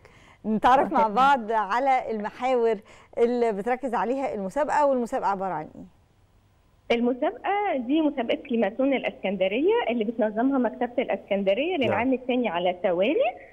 آه المسابقة بينظمها برنامج دراسات التنمية المستدامة في قطاع البحث دكتورة معلش بس. الأول كده يعني إيه كليماثون Climathon جاي من كلمة climate نعم لأن هي المسابقة دي. أساسا نعم. إحنا بننظمها مع Climate-KIC مؤسسة Climate-KIC بالاتحاد الأوروبي ف climate يعني المناخ نعم فهي آه، يعني إحنا بنحاول اللي هي المسابقة دي مخصوصة عشان تحديات والظاهرة التغير والمناخ واللي طبعا إحنا اثارها شايفينها على كل نواحي الحياة يعني مجال الزراعة صحيح. مجال طبعا مدن ال- الساحلية عندنا في اسكندرية شديد تأثر بسبب ارتفاع مستوى سطح البحر بسبب تغير المناخ أو بسبب climate change نعم. فهي راجعه إلى climate change نعم. طيب حطينا ف- بقى في تفاصيل آه، Climathon زي ما سألت زميلتي منا إيه هي أهم ما يميز هذه المبادرة؟ المبادرة دي أو المسابقة دي بتتعمل في المدن يعني في المحافظات المختلفة. مم. آه، إحنا بننظمها السنة دي المكتبة بتنظمها السنة دي بالتعاون مع مؤسسة مناخ أرضنا للتنميه المستدامة ومع الاتحاد الأوروبي مؤسسة Climate-KIC زي ما قلت لحضرتك. الهدف منها إيه؟ إن كل محافظة أو كل مدينة في مشكلة بس عندها بسبب تغير المناخ واللي هي مشكلات تغير ظاهرة تغير المناخ بتلقي ظلالها في جميع المجالات زراعة طاقة آه، ارتفاع مستوى سطح البحر صحة مخلفات أثرها طبعا شايفينها في كل المجالات. آه، فبنحاول إن الشباب موجهة للشباب من سن 18 ل 35 سنة إن هم يقدروا يشوفوا حل لهذه أو هم شايفين مشكلة معينة نعم. يشوفوا يحاولوا يلاقوا حل لحل هذه المشكلة من المكونات الداخلية للمحافظة. يعني من آه، آه، يعني يحلوا هذه المشكلة داخليا في محافظتهم أو في مدينة. وبتتعمل على مستوى مدن آه، كثيره جدا في العالم. في مصر نعم. في السنة دي عندنا على مستوى 14 محافظة. السنة اللي فاتت كانت أول مرة تبتدي تتعمل في مصر. وكانت اسكندرية طبعا مكتبه اسكندرية كانت سباقه إن هي تنظم المسابقة دي السنة اللي فاتت والسنة دي للعام الثاني على التوالي.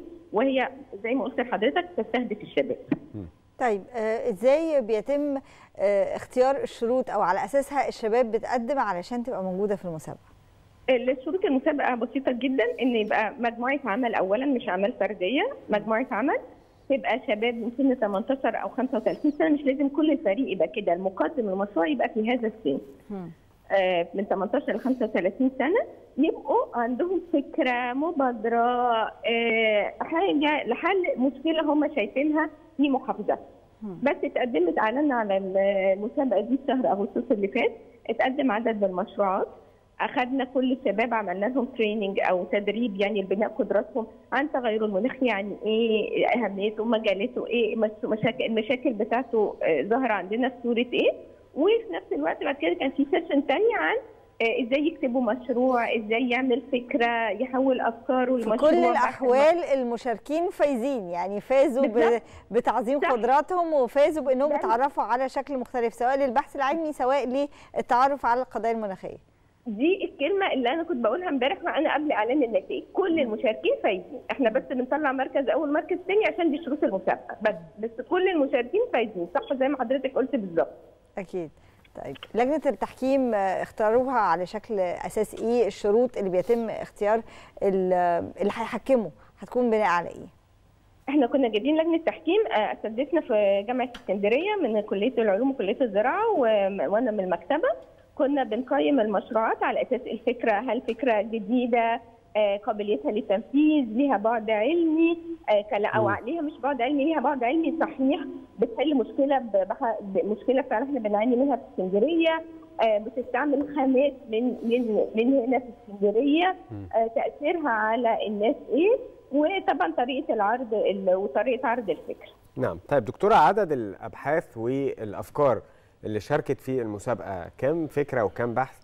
وإيه أفضل الأفكار من وجهة نظر حضرتك شايفاها اللي هي قد تساهم في الحد من الانبعاثات الكربونية؟ هو إحنا كان متقدم حوالي 35 فكرة أو 35 مشروع أو من مجموعات عمل. آه بعد كده عملنا لهم زي تصفية بس أولية وبعد بعد- طبعا بعد ما اخذوا التريننج ال- ال- المرتين دول وبعد كده طلبنا منهم هم يحسنوا مشروعاتهم وبعد على على أساس المحاضرة اللي هم كانوا اخذوها نعم. وبعد كده تم اختيار أفضل 10 مشروعات هي اللي تم عرضها امبارح في المكتبة وتم اختيار من العشر مشروعات دي أفضل مشروعين. اللي هم إيه بقى؟ الحقيقة كانت أفكارهم كلهم برضه لازم أقول أفكار الشباب جميلة جدا ولما عايز ابداع خد من أفكار الشباب صحيح. كان في فكرة اللي كسبت المركز الأول كانت إن هم بياخدوا من المخلفات العضوية اللي هو مخلفات الأكل وبقايا الأكل من شركة نهضة مصر المسؤولة عن آه، مكتب نظافة اسكندرية. آه، كان بياخدوا المخلفات العضوية منها بيحولوها لفحم النشط، فحم النشط ده طبعا بيدخل في معالجة المية بيت- بيتم استيراده بثمن غالي جدا في مصر. بيتم استخدامه في كذا حاجة في المجال الطبي في المجال الصناعي. آه، قدروا يحولوها طبعا يعني هم حرام هم بقالهم ست سنين بيشتغلوا على الفكرة دي. ودخلوا فيها كذا مسابقه وكل مسابقه يعني ياخدوا فكرة جديدة نعم. أو معلومة جديدة يقدروا إن هم يطوروها فدي اللي أخذت الجائزه المركز الأول والمركز الثاني كانت اللي هو بقى برضه مخلفات بس من الباعه اللي في الأسواق الاسواق نعم. المحلية الصغيرة الأسواق اللي عندنا في اسكندرية. مخلفات الطماطم والخيار ومخلفات الأكل برضه المخلفات العضوية بتاعتهم بياخدوها يجففوها طبعا يعني بينضفوها وكده هم اللي بيروحوا ياخدوها من الباعه نفسهم يعني عشان يبقى النقل عليهم أو سايبين لهم يعني أرقام تليفوناتهم وبياخدوها يجففوها بواسطة الطاقة الشمسية وشوية يعني معاهم طبعا أستاذ يعني كل كلها. كلها نقدر نقول يا دكتورة أفكار صديقة للبيئة وزي ما حضرتك قلتي طبعاً. عاوز حلول خد من أفكار الشباب طبعا ومقولة. بصيغة أخرى يمكن أينشتاين نفسه قال كده لا يمكن ابدا أن تحل المشاكل بنفس طريقة ال ال الأفكار اللي تسببت فيها ومن هنا بنتكلم على أفكار بشكل مختلف وهي أفكار شبابية خالصة لمواجهة ظاهرة يمكن أصبحت بتؤرق كل دول العالم وهي التغيرات المناخية. بنشكر حضرتك الدكتورة ريهام عبد الحميد مدير برنامج دراسات التنمية المستدامة بمكتبة الإسكندرية. خلينا نروح بقى لفقرة تانية بعد ما يقرب من 18 سنة من الإغلاق للترميم ورفع الكفاءة امبارح تم افتتاح واحد من أهم وأقدم المتاحف المصرية المتحف اليوناني الروماني اللي أعيد صياغة أقسامه تاني بالكامل عشان يحكي قصة واحد من أهم الحقب التاريخية اللي مرت على مصر. يعني لسه موجودين في اسكندرية واسكندرية عارفين إن أغلب الآثار اللي فيها هي آثار بتعود للحقبة اليونانية. ففكرة إن إحنا نعيد إحياء التراث والثقافة اليونانية مرة تانية من خلال يعني رفع كفاءة المتاحف اللي موجودة فيها أعتقد دي حاجة محل تقدير وهو ده تاريخنا اللي لابد أن يكون حاضر لأن اللي ملوش ماضي ملوش أي حاضر في حياة الأمر. خلونا نتعرف أكتر عن المتحف وأقسامه من خلال الأستاذ محمد متولي مدير آثار الإسكندرية. صباح الخير يا أستاذ محمد. صباح النور يا فندم على حضرتك والسادة المشاهدين. يعني أستاذ محمد في البداية عاوزين نعرف من حضرتك إيه أكتر يعني الأقسام داخل هذا المتحف اللي تم آه، يعني تغيير ملامحها كي تكون متواجبة مع آه، التكنولوجيا الحديثة الموجودة؟ أنا في البداية بس بحب أتكلم على المبنى لأن مبنى مهم جدا طبعا. انه كونه مبنى أثري مسجل في عدد الآثار الإسلامية في الإسكندرية نعم. آه، رفع من قيمة المكان جدا جدا بجانب لآلاف القطع اللي موجودة ومعروضة في المتحف 6000 قطعة.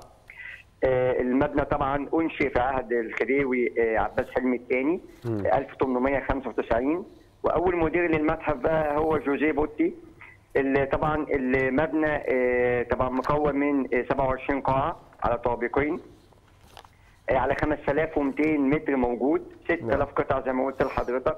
آه، طبعا ال- عدد كبير جدا من القاعات اللي هم 27 قاعة بتمثل بقى الحياة اليومية والعصر البيزنطي المتأخر الفن القبطي آه، الملكة النيل الحياة الاقتصادية فنون الإسكندرية.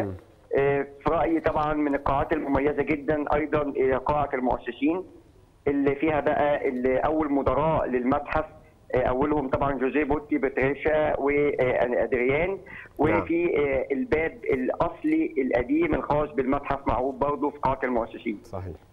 طيب يعني إحنا نقدر نعتبر المبنى نفسه أثر في حد ذاته؟ وهو ده طبعا ده أقدم مبنى في مصر كلها أنشئ ليؤدي وظيفة متحف. آه، يأتي في المرتبة الثانية بعديه على طول المتحف المصري 1902 كان المبنى بتاع اسكندرية متحف يوناني وروماني مبنى أثري. 1895 النهارده 128 سنة عمر المبنى قيمة كبيرة جدا جدا للمتحف. وطبعا نهار جديد بقى اشرف في سماء الإسكندرية وإضافة قوية جدا للخريطة السياحية المصرية. وإن شاء الله يجذب مزيد من السياح ويعزز من وضع إسكندرية سياحيا.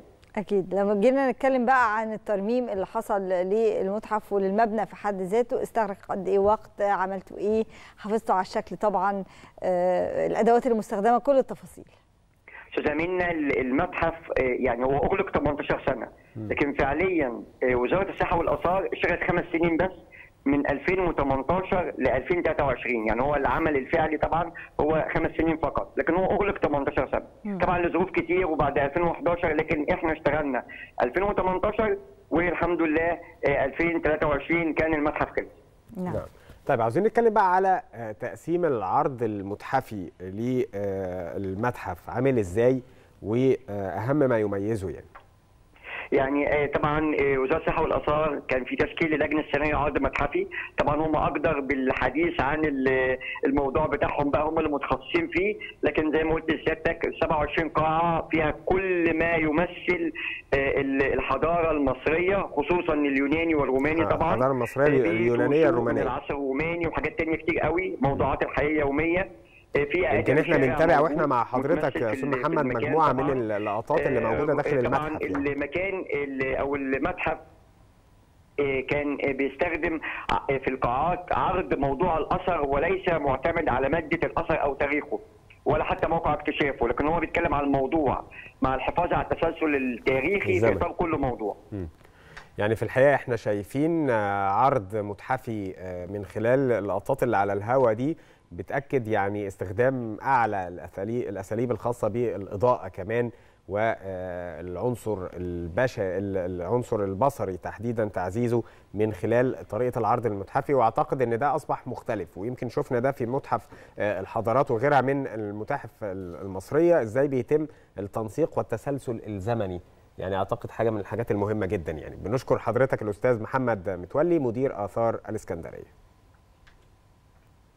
مشاهدينا خلينا نروح لفاصل سريع ونرجع نستكمل معاكم باقي حلقاتنا. بنصبح على حضراتكم واهلا بيكم وموجز لأهم الأخبار الرياضية المحلية والعالمية. ونبدأ مع منتخب مصر اللي حقق الفوز أمام نظيره زامبي بنتيجة 1-0 عن طريق حمدي فتحي في اللقاء اللي جمع المنتخبين على استاد هزاع بن زايد في مدينة العين الإماراتية. وده في إطار استعدادات الفراعنة للمشاركة في بطولة كأس أمم أفريقيا 2023 والتصفيات المؤهلة لكأس العالم 2026 قرعة بطولة كأس أمم أفريقيا 2023 أوقعت منتخب مصر على رأس المجموعة الثانية مع منتخب غانا والرأس الأخضر والموزمبيق في البطولة اللي هتقام في كوت ديفوار في الفترة من 13 يناير ولحد 11 فبراير 2024 عمر سيد معوض لاعب فريق الأهلي مواليد 2006 وقع على عقد احتراف مع النادي لمدة أربع سنين. وده جه خلال الجلسة اللي جمعته امبارح مع وليد سليمان رئيس قطاع الناشئين ومحمد شوقي نائب المدير الفني للقطاع. فريق كرة سلة الأهلي خسر أمام نادي الكويت الكويتي بنتيجة 87 مقابل 85 في مباراة تحديد المركزين الثالث والرابع بالبطولة العربية واللي بتقام في قطر. وفاز فريق الكويت بالميدالية البرونزية والمركز الثالث بينما حل الأهلي رابعاً. الدولي المصري محمود حسن تريزيجيه نجم ترابزون سبور التركي أعلن دعمه للقضية الفلسطينية بعد العدوان الإسرائيلي على غزة واللي راح ضحيته المئات من الأبرياء. والدولي المصري مصطفى محمد مهاجم فريق نانت الفرنسي فاز بجائزة أفضل هدف في الدوري الفرنسي خلال شهر سبتمبر الماضي من المسابقة المحلية. كمان نادي ليفربول الإنجليزي احتفل بذكرى الهاتريك التاريخي اللي سجله النجم المصري محمد صلاح في شباك فريق رينجرز الإسكتلندي في اللقاء اللي حسمه الليفر بنتيجة 7-1 ضمن منافسات الجولة الرابعة للمجموعة الأولى في البطولة القارية للموسم الحالي 2022 2023 خلصت نشرتنا الرياضية ونرجع مرة ثانية لأحمد ومنى نكمل معاهم باقي فقراتنا. شكرا ليك يا لميا وفي الحقيقة لسه مستمرين في الأخبار الرياضية لأن امبارح كان حمدي فتحي يمكن هو كلمة السر في الفوز بهدف في الوقت الضائع لمنتخب مصر على منتخب زامبيا في اللقاء الودي اللي كان بيجمع ما بينهم أمس في المباراة اللي كانت مقامة على استاد هزاع بن زايد على هامش معسكر المنتخب في الإمارات. وكده بيتبقى للمنتخب مباراة ودية أخرى مع الجزائر يوم الاثنين اللي جاي في آخر استعداد قبل خوض تصفيات كأس العالم الشهر اللي جاي. عايزة أقول لك إن امبارح كمان اتعملت قرعة بطولة كأس الأمم الأفريقية كوديفوار واللي اوقعت مصر في مجموعة مش سهلة. المجموعة دي بتضم غانا ومنتخب كام فيردي العنيد طبعا وموزمبيق. خلينا نتكلم أكتر مع ضيفنا حسين حمدي الناقد الرياضي عن تفاصيل اللي حصل امبارح كله في الوسط الرياضي. بداية صباح الفل واهلا وسهلا. صباح الخير. نورتنا يا أستاذ طيب امبارح ماتش المنتخب قدام زامبيا كان عامل إزاي؟ قول لنا كده يعني الناس وهي بتتفرج ما كانتش مبسوطة أكتر حاجة. آه لأنه هو مباراة ودية. دايما الهدف من المباريات الودية بيكون يا تجربة أسلوب جديد يا إما بتشوف عدد من اللعيبة أنت ما شفتهاش قبل كده أو كان عدد من اللعيبة كانوا غايبين قبل كده. امبارح شفنا محمد النني كان مصاب لفترة طويلة ورجع. محمود تريزيجيه برده كان مصاب لفترة طويلة ورجع. وبالتالي آه إن إحنا نلوم فيتوريا إن هو ما ظهرش بأفضل آه صورة. صورة امبارح لا ده مباراة ودية. إحنا في كل الأحوال إحنا عايزين نطمن على الأداء بشكل عام. صحيح بس هي مباراة ودية لكن خلينا نتكلم يا أستاذ حسين إن دايما بيبقى حتى لو مباراة ودية الجمهور بيبقى معلق عليها كثير من الامال وشايفين حتى الآن إن أداء المنتخب لم يرتقي للشكل اللي هم عاوزينه. تمام. يعني بص مباراة امبارح صحيح المستوى ما كانش أفضل حاجة. لكن المنتخب بشكل عام مع فيتوريا 10 مباريات. أنا كنت بشوف إن معظم المباريات دي كان بيفوز وبيقنع. خلينا نتفق إن معظم المباريات دي يا إما كانت ودية يا إما كانت رسمية ولكنها كانت ضعيفة.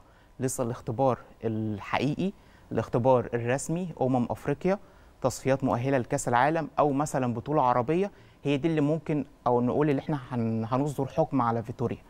تمام؟ إنما التسع مباريات غير مباراة امبارح كان المعظم منتخب مصر بيقنع ويمتع في في النتائج. إحنا كسبانين تسعة من أصل 10 مباريات مع فيتوريا. فأنا شايف ده معدل عالي جدا لأي أصلا مدرب آه، قاد منتخب مصر.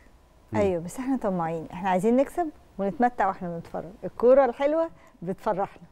آه، ده مش حقيقي في كل تمام. الوقت كنا بنلعب كورة بس إحنا. يعني ومباراة امبارح ما ينفعش يتقال عليها لو إنها كانت بصينا آخر 20 سنة مثلا هنلاقي إن أسوأ أسوأ كره لعبناها كانت مع كوبر هو اللي ودانا كأس عالم. فيعني الكره الحلوة جميلة وكل حاجة بس في كل الأحوال المنتخب المصري بيقارن أو الجمهور المصري بيقارن على النتيجة صحيح. إحنا لما رحنا كأس العالم بأداء يعني مكان صعب جدا مع هيكتور كوبر كنا مبسوطين في الآخر فصحيح إحنا بندور على الأداء الجمالي وعلى الطمع صحيح. إحنا نكسب ونلعب الأداء كويس بيتنسي أمام النتيجة سواء بالظبط. كانت نتيجة فوز أو نتيجة خسارة ده اللي بيتذكره دايما الجمهور لكن هل شايف إن فيتوريا لسه في مرحلة التشكيل وما استقرش على التشكيل هو الأمثل بالنسبة له لا أنا شايف إن فيتوريا يعني العمود الفقري بتاع المنتخب هو استقر عليه مم. صحيح في غيابات بتحصل عندك أحمد حجازي عندك الونش بيحصل إن إمام عاشور في نص الملعب ولكن ال- العمود الفقري بتاع المنتخب موجود. بتتكلم على الشناوي محمد عبد المنعم آه، أحمد حجازي آه، هاني وفتوح. نص الملعب خلاص مع عودة النني هيبقى عمود في المنتخب. صلاح آه، تريزيجيه مصطفى محمد. بعد كده التغييرات بتحصل في ثلاث أو أربع لعيبة. إنما الشكل العام استقر عليه. الخطة من ساعة ما فيتوريا جه بيلعب 4 3 3 مم. تمام؟ اللعيبة بتنسجم مع الأداء مع منظومه اللعب اللي. عايز يعملها فيتوريا في 4 3 3 هي خطة طبعا مش منتشرة عندنا في الدوري المصري ولكن اللعيبة بقى لها سنة وثلاث شهور دلوقتي مع فيتوريا. بدأوا يشربوا الخطة ونتمنى إن على كأس الأمم يكون المنتخب في أفضل صورة ممكنة. طيب آه، خلينا كده بن- بنقول ما دام إحنا مش مبسوطين قوي آه، وإحنا بنتفرج وإن كانت النتائج إيجابية نعمل مقارنة كده بين فيتوريا وكيروش. اتعودنا على حاجة وبعدين ابتدينا نشوف حاجة تانية. م- هل مش عارفين نتعود على أسلوب المدير الفني ولا ولا إيه؟ هو كيروش أنا بعتبره من أكتر المدربين اللي اتظلموا في تاريخ مصر. مم. لأنه جه ست شهور ست شهور صعبين جدا. بدأ بطولة عربية بعدها بشهرين لعب كأس أمم أفريقية بعدها بشهرين لعب التصفية النهائية المؤهلة لكأس العالم. خلال ست شهور لعب أصعب ثلاث ثلاث أحداث ممكن ياخدهم وبعدها مشي على طول. ونجح في الثلاث أحداث دول إن هو في حدثين منهم يوصل لأبعد نقطة ممكنة. إحنا وصلنا لنهائي كأس الأمم الأفريقية ووصلنا في تصفيات المؤهلة لكأس العالم لركلات الترجيح مع السنغال. تمام؟ فكيروش هو مخت... مختلف شوية عن التجربة بتاعه فيتوريا. فيتوريا كمان مشروع. إحنا موقعين مع فيتوريا أربع سنين. مفيش مدرب قبل كده إحنا وقعنا معاه أربع سنين ومن ساعة كابتن حسن شحاتة مفيش مدرب كمل مع منتخب مصر أربع سنين. فاحنا بنقول بال- بالعقد ده ان إحنا مكملين معاك ايا كانت النتيجة. في كأس أمم أفريقية إحنا لحد كأس العالم 2026 إحنا مكملين. ابن فريق وشكله بطريقة اللعب اللي انت عايزها. اختار العناصر الشابة وده, وده بيدي ثقة واريحيه للمدير الفني. أكيد طبعا. يعني موضوع المشروع ده إحنا بنفتقده في الكرة المصرية. إحنا صحيح. بنشوف المدرب اللي ح... اللي بيكسب هتكمل. بيخسر بتك- خلاص مش عاوزين بالظبط. آه يعني انت لو بتقيم كيروش بال... بالنتائج ممكن يكمل. نسبة كبيرة جدا ممكن يكمل. إنما أنت ما كنتش ناوي معاه على مشروع من الأول. مضيت عقد ست شهور اللي هو هتيجي هتحقق نتائج هن... هنمضي وهنجدد. نعم. إنما فيتوريا الموضوع مختلف من الأول أربع طيب. سنين. أستاذ حسين يعني خلينا نتكلم إحنا على أداء اللي شفناه امبارح. إحنا أمام خطر أمام منتخب عنيد يوم الاثنين. فشايف المباراة ممكن تبقى عاملة إزاي أمام منتخب الجزائر؟ لا يعني منتخب مختلف خالص عن المنتخب آه، الذنب اللي إحنا كنا بنلعب قدامه. نتكلم على منتخب فيه عناصر زي آه، رياض محرز أمين زويري. بنتكلم على يعني أقوى أو تاني أقوى منتخب في أفريقيا ولكن تظل في الأول وفي الآخر هي مباراة ودية. نتمنى إن إحنا نشوف منتخب مصر في ال level ده. أعتقد فيتوريا ما لعبش مباراة قوية إلا مباراة بلجيكا الودية ودي هتكون تاني أقوى مباراة ود... آه ودية ياخدها. فاحنا عايزين نشوف مدى قوة وانسجام منتخب مصر. صحيح امبارح كان مثلا كان المنتخب متأثر بعدم وجود صانع ألعاب في نص الملعب. آه، أول ما نزل أحمد سيد زيزو صنع كورتين كرة الهدف وكرة تانية كان انفراد لاحمد لمحمود تريزيجيه. تمام؟ ممكن نشوف مثلا إن أحمد زيزو لأ هو اللي بيبدأ في المباراة الأقوى. صحيح. تمام؟ فاحنا محتاجين نشوف أفضل شكل لمنتخب مصر في مباراة قوية زي منتخب الج... زي قدام منتخب الجزائر. طيب خلينا بقى نروح لقرعه الامس آه، شفتها إزاي وشفت إيه اللي حصل إزاي؟ آه مجموعة مصر بشوف إنها متوازنة جدا بعد نظام ال 24 منتخب في البطولة اللي اتطبق في آخر نسختين. إحنا فرصنا في التأهل كبيرة جدا لأن اللي بيصعد أول وتاني وأفضل آه أربع توالد في المجموعات. وبالتالي منتخب مصر حظوظه عالية جدا آه معاه منتخب غانا هو يعتبر المنافس الرئيسي بتاعنا في ال- في البطوله في المجموعة ولكن ال- المجموعة في المتناول انت معاك كاب فيردي وموزمبيق آه منتخبين متواضعين إحنا حظنا حلو كمان مع موزمبيق إحنا قع- وقعنا معاهم قبل كده ثلاث مرات ثلاث مرات خدنا فيهم البطولة طيب. 86 مم. 98 صحيح. 2010 هل ممكن بقى المنتخب منتخب مصر يتأثر بسبب عدم وجود خبرات سابقة لفيتوريا في كأس الأمم؟ آه هي ممكن لو فيتوريا لسه جاي بقاله شهر أو شهرين. فيتوريا بقاله سنة وثلاث شهور. فيتوريا صحيح درب في السعودية درب في البرتغال درب في روسيا ولكن آه السنة وثلاث شهور والعشر مباريات اللي لعبهم ممكن تكون اديت له بعض الخبرات عن الخصوصية بتاعه الكرة الأفريقية. الملاعب اللي بتروح تلعب فيها في أفريقيا الأرضية ما بتبقاش متساوية. يعني لو مدرب قرر إن هو المباراة كلها هيلعب كرة جميلة وهيبني اللعب من ورا ممكن يعاني. لو مدرب ما عندوش خبرات اللي هو آه، ملاعب في أفريقيا بيكون فيها رطوبة عالية وهو عايز يعمل ضغط عالي من أول دقيقة لحد الشوط الثاني اللعيبة هتنهك. أعتقد فيتوريا في السنة والثلاث شهور أدرك الخصوصية بتاعة اللعب في أفريقيا ممكن ما يكونش متأثر قوي كأ- مش يعني مش هيدخل كأنه جديد على بطولة كأس الأمم. لا هو خلاص الفترة اللي قضاها مع المنتخب آه، أكسبته خبرات اللعب في أفريقيا. صحيح. طيب لما نيجي نقول ال- المنتخب إحنا شايفين الأداء آه، إن كان بيكسب ولكن ومش هنقول الأداء متواضع لكن إحنا شفنا المنتخب وهو أحسن من كده. إحنا محتاجين آه، فيتوريا يعمل إيه؟ وال- واللعيبة محتاجة تعمل إيه مع فيتوريا علشان نوصل للموازنة بتاعه المباراة الحلوة والفوز في نفس الوقت. آه، خصوصا إن إحنا المجموعة ما هياش آه، يعني تافهة بس ما هياش صعبة. بالظبط. آه يعني الدور بتاع فيتوريا أنا شايف إن هو يكمل على نفس الخط اللي هو ماشي عليه. مم. إحنا يعني معظم المباريات بنأدي كويس. يمكن مباراة تونس الوحيدة اللي خسرنا فيها مباراة الأمس إحنا يعني ما لعبناش بأفضل مستوى لكن باقي المباريات آه فيتوريا كان بيؤدي بشكل كويس مع المنتخب. بالنسبة للعيبة إحنا الجيل الحالي بتاعنا من اللعيبة ما نقدرش نقول إن هو جيل زي الجيل الذهبي بتاع منتخب مصر. صحيح. ولكنه جيل جيد وفيه عناصر كتير جيدة. ومع أنا عايزة أقف عند الكلمة دي. إحنا هنفضل لغاية إمتى نقول هو مش زي الجيل الذهبي؟ ليه ما بنعملش جيل ذهبي جديد؟ لأن إحنا عملنا الجيل الذهبي عملنا وع- وعندنا مدير فني وعندنا كشافين مواهب. ده إحنا الشركة المتحدة في الفترة اللي. فاتت كانت عمالة يعني بتجوب ال- المحافظات علشان تعمل كابيتان وإحنا بن... عندنا القدرة على صناعة جيل ذهبي وأجيال ذهبية. هي الفكرة إن يعني الكره المصرية ما صنعتش جيل ذهبي. أنا بشوف إن الجيل الذهبي اللي اتكون عند منتخب مصر هو اتكون بالحظ. يعني إحنا كنا محظوظين ان عدد كبير من العناصر المميزة المميزة واللي عندها كمان شخصية اتواجدت في وقت واحد ومعاهم مدير فني قدر ان هو يطلع منهم افضل حاجة ممكنة. منتظرين حظ وصدفة تيجي مرة تانية صح لأن إحنا- ولا محتاجين إرادة حقيقية؟ خلاص يعني أعتقد كل الدعم أصبح موجود لقطاع الكرة. وأي حاجة بتحتاجها القطاع ده تحديدا بتلبى لحد أقول لك من أكبر قيادة في البلد. القيادة السياسية نفسها. إيه اللي ينقصنا؟ وهل محتاج فيتوريا يبقى في مراكز جديدة أو أجنحة جديدة يضم يضم فيها لاعبين جدد؟ قبل كده كان عندنا الدوري المصري هو اللي بيطلع معظم اللعيبة اللي تودي المنتخب. ده أنا شايف إن الدوري المصري مستواه تراجع لحد لحد. ما مقارنة بإيه؟ ب 15 أو 16 سنة عن دلوقتي. والكره الأفريقية دلوقتي بقت معظم اللعيبة بتطلع في أوروبا.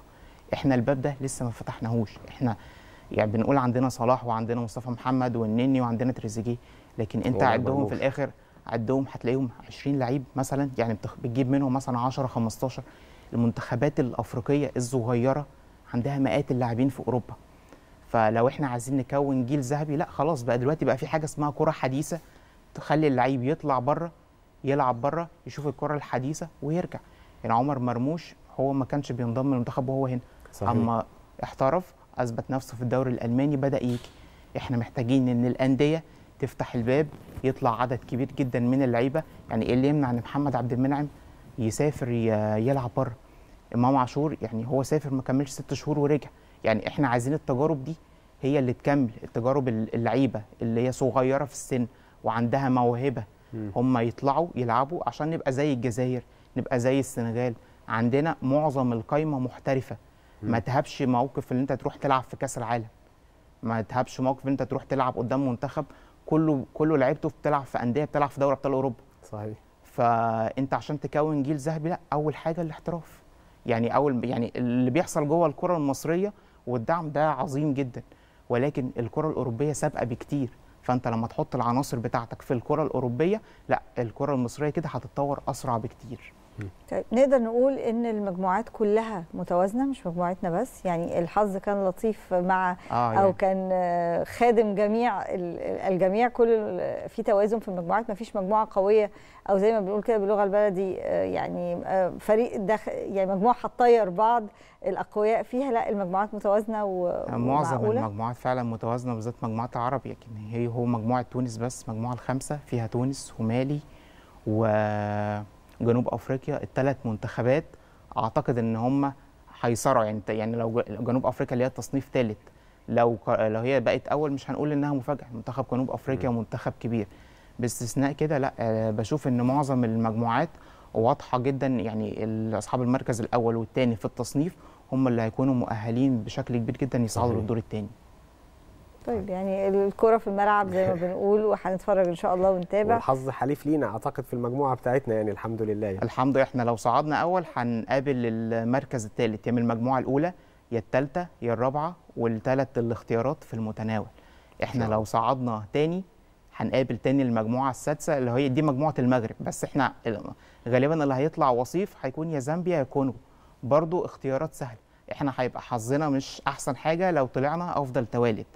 لأن إحنا كده هن- هنصطدم. الجزائر عند عند الفراعنة هيخلينا إن شاء الله نحقق. هنصطدم يا بالجزائر يا بالسنغال في الدور الثاني إن شاء الله. فده هتكون مواجهة صعبة جدا. أتمنى إن إحنا يا إن شاء الله يا الصدارة يا المركز الثاني بحيث إن يكون طريقنا أفضل في البطولة. نعم، لا تراجع عن الصدارة. بإذن الله. بنشكر حضرتك أستاذ حسين جداً. حمدي الناقد الرياضي. شكرا لوجودك معنا في صباح الخير. شكرا جدا. مشاهدينا آه، الساعة دلوقتي 9 ميعادنا مع موجز لاهم الأنباء مع لميا. اتفضلي يا لميا. شكرا لك منا التاسعة صباحا بتوقيت القاهرة السادسة بتوقيت جرينتش موجز الأخبار من التلفزيون المصري. أهلا بكم.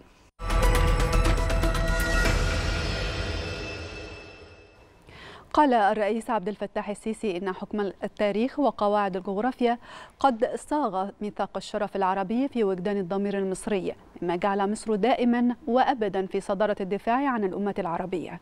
وفي كلمته خلال احتفالية تخريج دفعة جديدة من طلاب الأكاديمية والكليات العسكرية شدد الرئيس السيسي على أن مصر لم تخذل الأمة العربية ولن تخذلها أبدا. كما أكد الرئيس السيسي سعي مصر للسلام واعتباره خيارها الاستراتيجي الذي يحتتم عليها ألا تترك الأشقاء في فلسطين الغالية. مشددا على سعي مصر للحفاظ على مقدرات الشعب الفلسطيني الشقيق وتأمين حصوله على حقوقه الشرعية. وأشار الرئيس السيسي إلى وجود سعي دؤوب من أطراف متعددة للحيد بالقضية الفلسطينية عن مسارها الساعي لإقرار السلام القائم على العدل وعلى مبادئ أوسلو والمبادرة العربية للسلام ومقررات الشرعية الدولية إلى تصعيد ينحرف عن هذا المسار. أكد الرئيس عبد الفتاح السيسي ضرورة عدم تحمل الأبرياء تبعات الصراع العسكري مشيرا إلى أن ذلك يستوجب تسهيل وصول المساعدات الإنسانية لأبناء الشعب الفلسطيني بشكل عاجل. وفي كلمته خلال احتفالية تخريج دفعة جديدة من طلاب الأكاديمية والكليات العسكرية شدد الرئيس السيسي على ضرورة أن يتحمل المجتمع الدولي مسؤولياته في هذا الصدد. وأشار الرئيس السيسي في كلمته إلى صعوبة المرحلة الحالية لافتا إلى أن مصر تبذل جهدا كبيرا جدا لاحتواء التصعيد وتحاول الوصول إلى وقف للاقتتال والتخفيف عن الشعب الفلسطيني في قطاع غزة. كما أكد الرئيس السيسي حرص مصر على وصول المساعدات سواء طبية أو إنسانية إلى قطاع غزة في هذا الوقت الصعب. أعرب الممثل السامي للاتحاد الأوروبي للشؤون الخارجية والسياسة الأمنية جوزيب بوريلا عن دعمه لدعوة مصر لتوصيل المساعدات الإنسانية الدولية التي تشتد الحاجة إليها في قطاع غزة عبر مطار العريش. وأعرب عبر منصة إكس عن شكره لإعلان مصر أن معبر رفح سيظل مفتوحا وعاملا بما في ذلك نقل المساعدات الإنسانية وحالات الطوارئ.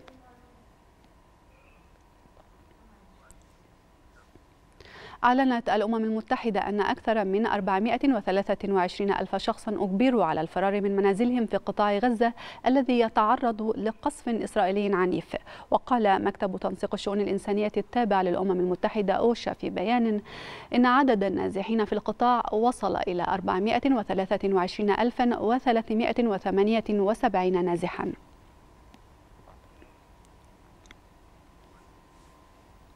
أعلنت وزارة الصحة الفلسطينية ارتفاع حصيلة عدوان الاحتلال الإسرائيلي على الضفة وقطاع غزة إلى 1572 شهيدا و7262 جريحا. وأوضحت الصحة في بيان مقتضب أن حصيلة الشهداء ارتفعت في قطاع غزة إلى 1537 شهيدا و6612 مصابا. فيما بلغت الحصيلة في الضفة الغربية 35 شهيدا وأكثر من 650 مصابا. وأن نحو 60% من المصابين في قطاع غزة من الأطفال والنساء.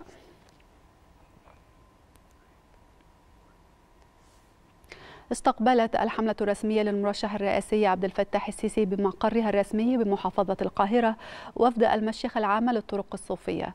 واستقبل الوفد المستشار محمود فوزي رئيس الحملة الانتخابية للمرشح الرئاسي عبد الفتاح السيسي. مثمنا دور المشيخة البارز في المشاركة المشرفة في الأحداث الوطنية ومؤكدا اهتمام الدولة المصرية بتطوير الأضرحة والمساجد.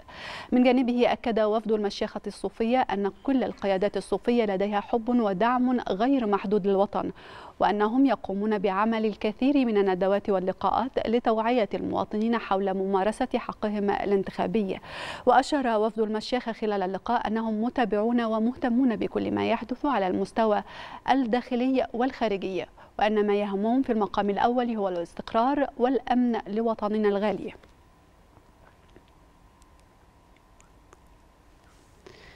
أعلن المرشح الجمهوري لمنصب رئيس مجلس النواب الأمريكي ستيف سكاليز سحب ترشحه في قرار يفاقم أزمة المؤسسة. وكان سكاليز فاز الأربعاء في تصويت غير رسمي للحلول محل كيفن مكارثي الذي أقاله زملائه في الثالث من أكتوبر الجاري. لكن النائب عن لويزيانا فشل في الحصول على الدعم اللازم بسبب الخلافات بين نواب حزبه المنقسمين. مشاهدينا انتهى موجز التاسعة ونعود لاستكمال باقي فقرات صباح الخير يا مصر بعد الفاصل. اسلامي في كل حين. طبعا كان في اهتمام كبير جدا بحفل تخريج دفعة جديدة من الأكاديمية العسكرية والكليات العسكرية والتزاما مع مرور 50 سنة على نصر أكتوبر المجيد. وحديث سيادة الرئيس عبد الفتاح السيسي خلال الحفل عن الدور المصري الداعم للقضية الفلسطينية وتكثيف الاتصالات لوقف التصعيد في قطاع غزة. وده طبعا بجانب حرص مصر على وصول المساعدات سواء كانت طبية أو إنسانية للقطاع بس. زي ما قلت يا منى يمكن تكثيف الاتصالات لأن شفنا قد إيه مصر هي رمانه الميزان طبعا. لما يحدث في المنطقة بشكل عام وشفنا إن كل الدول كانت يعني سرعان ما اشتعلت الأحداث في الأراضي المحتلة كانت حريصة على التنسيق مع مصر.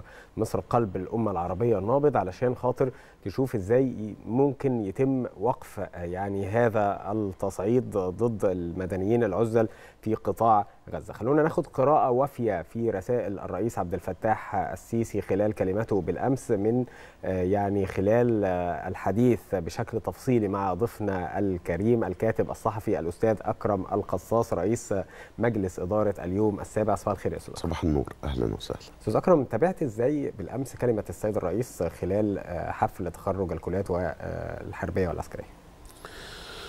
وطبعا الحفل نفسه كان مهم والمكان اللي انطلقت منه الكلمة ده كلام يعني مكان مناسب جدا ومهم وفيه هو في حد ذاته رسالة. هو الفكرة إنه الكلام اللي قاله الرئيس عبد الفتاح السيسي والمشهد كله اولا 50 سنة حرب أكتوبر وإحنا عارفين انتصار أكتوبر والعبور قد إيه كان يعني هذه القصة التي لم تكتب كلها حتى الآن لكن فيها رسائل مهمة. المكان طبعا زي ما إحنا قلنا والتأكيد على فكرة إنه مصر أكبر جيش عربي في المنطقة آه، بتمتلك القوى الشاملة بالقوات المسلحة على مستوى عالي جدا من التحديث. هذا التحديث القوة آه، القوات المسلحة قوة رشيدة تحمي ولا تهدد لأنه القوات المسلحة هي اللي حاربت يعني مصر هي الدولة اللي حاربت ودفعت كتير. مع دول كتيرة والحقيقة العرض كان فيه رمزية مهمة جدا على استعراض أعلام الدول العربية الشقيقة اللي شاركت في آه، العبور وفي انتصار أكتوبر في شهداء موجودين عندنا هنا أو بشكل عام. كل الدول العربية تقريبا كانت مشاركة. ففيها رمزية لنفس الأمر يمكن الرئيس تحدث عن فكرة المواقف العربية وأنه يبقى في موقف عربي موحد. لكن خلينا نقول أنه أهم الرسائل في هذا الأمر أنه مصر اللي عرفت الحرب وعرفت النصر ولديها جيش قوي جدا. هذا الجيش رشيد يحمي ولا يهدد وضد التدخلات الخارجية. التدخلات الخارجية هي سبب 90% من المشكلات في هذا المنطقة كل دول وطموحات وصراعات وغيره. الحقيقة مصر منذ اللحظة الأولى للعدوان على غزة واخدة موقف واضح لأنه العدوان المرة دي يمكن هي الأمر بيتكرر كان في أغسطس 22 ومصر بمبادرة وثيقة دولية نجحت في إنها توقفها. المرة دي ضرب شديد مع مسؤولين إسرائيليين فاشيست. يعني الحقيقة في وزراء بيتباهوا بأنهم فاشيين وعاوزين إبادة و- وبيصفوا الفلسطينيين أوصاف آه، بشعة ويعني فيها تصريحات عنصرية. فمصر بتتخذ موقف واضح من هذا الأمر. اولا وقف العدوان والنقطة الرئيسية اللي دايما الرئيس يؤكد عليها هو القضية الرئيسية هي الحل النهائي للقضيه الفلسطينية. ده حل الدولتين ولا بديل عنه. وأظن إسرائيل جربت على مدى عقود طويلة أكثر من 70 سنة إنها ت- تمارس التصفية العرقية و- والعنصرية ضد الفلسطينيين. ويمكن ما الرئيس- زالت بتمارس يعني آه. حديثنا ده في تصريحات تصريحات الإسرائيلي جدا. بي- وبالعكس ده كان جميعا من قطاع غزة. والحقيقة كمان ب يعني هذه هذه ال هذا العدوان على غزة مدعوم بشكل غير مسبوق من الولايات المتحده الولايات المتحدة طول عمرها مع إسرائيل, إسرائيل. الحقيقة إدارة بايدن إدارة ديمقراطية أصبحت غير قادرة على التعامل كدولة كبرى. يعني حامله طائرات لأول مرة عمرها ما حصلت. الامر الثاني إنه إدارة بايدن الديمقراطيين دائما كانوا يروجوا نفسهم على إنهم مع الحريات ومع السلام وغيره. النهارده الحرب في أوكرانيا فشلوا في إشعالها بالعكس أشعلوها أكتر.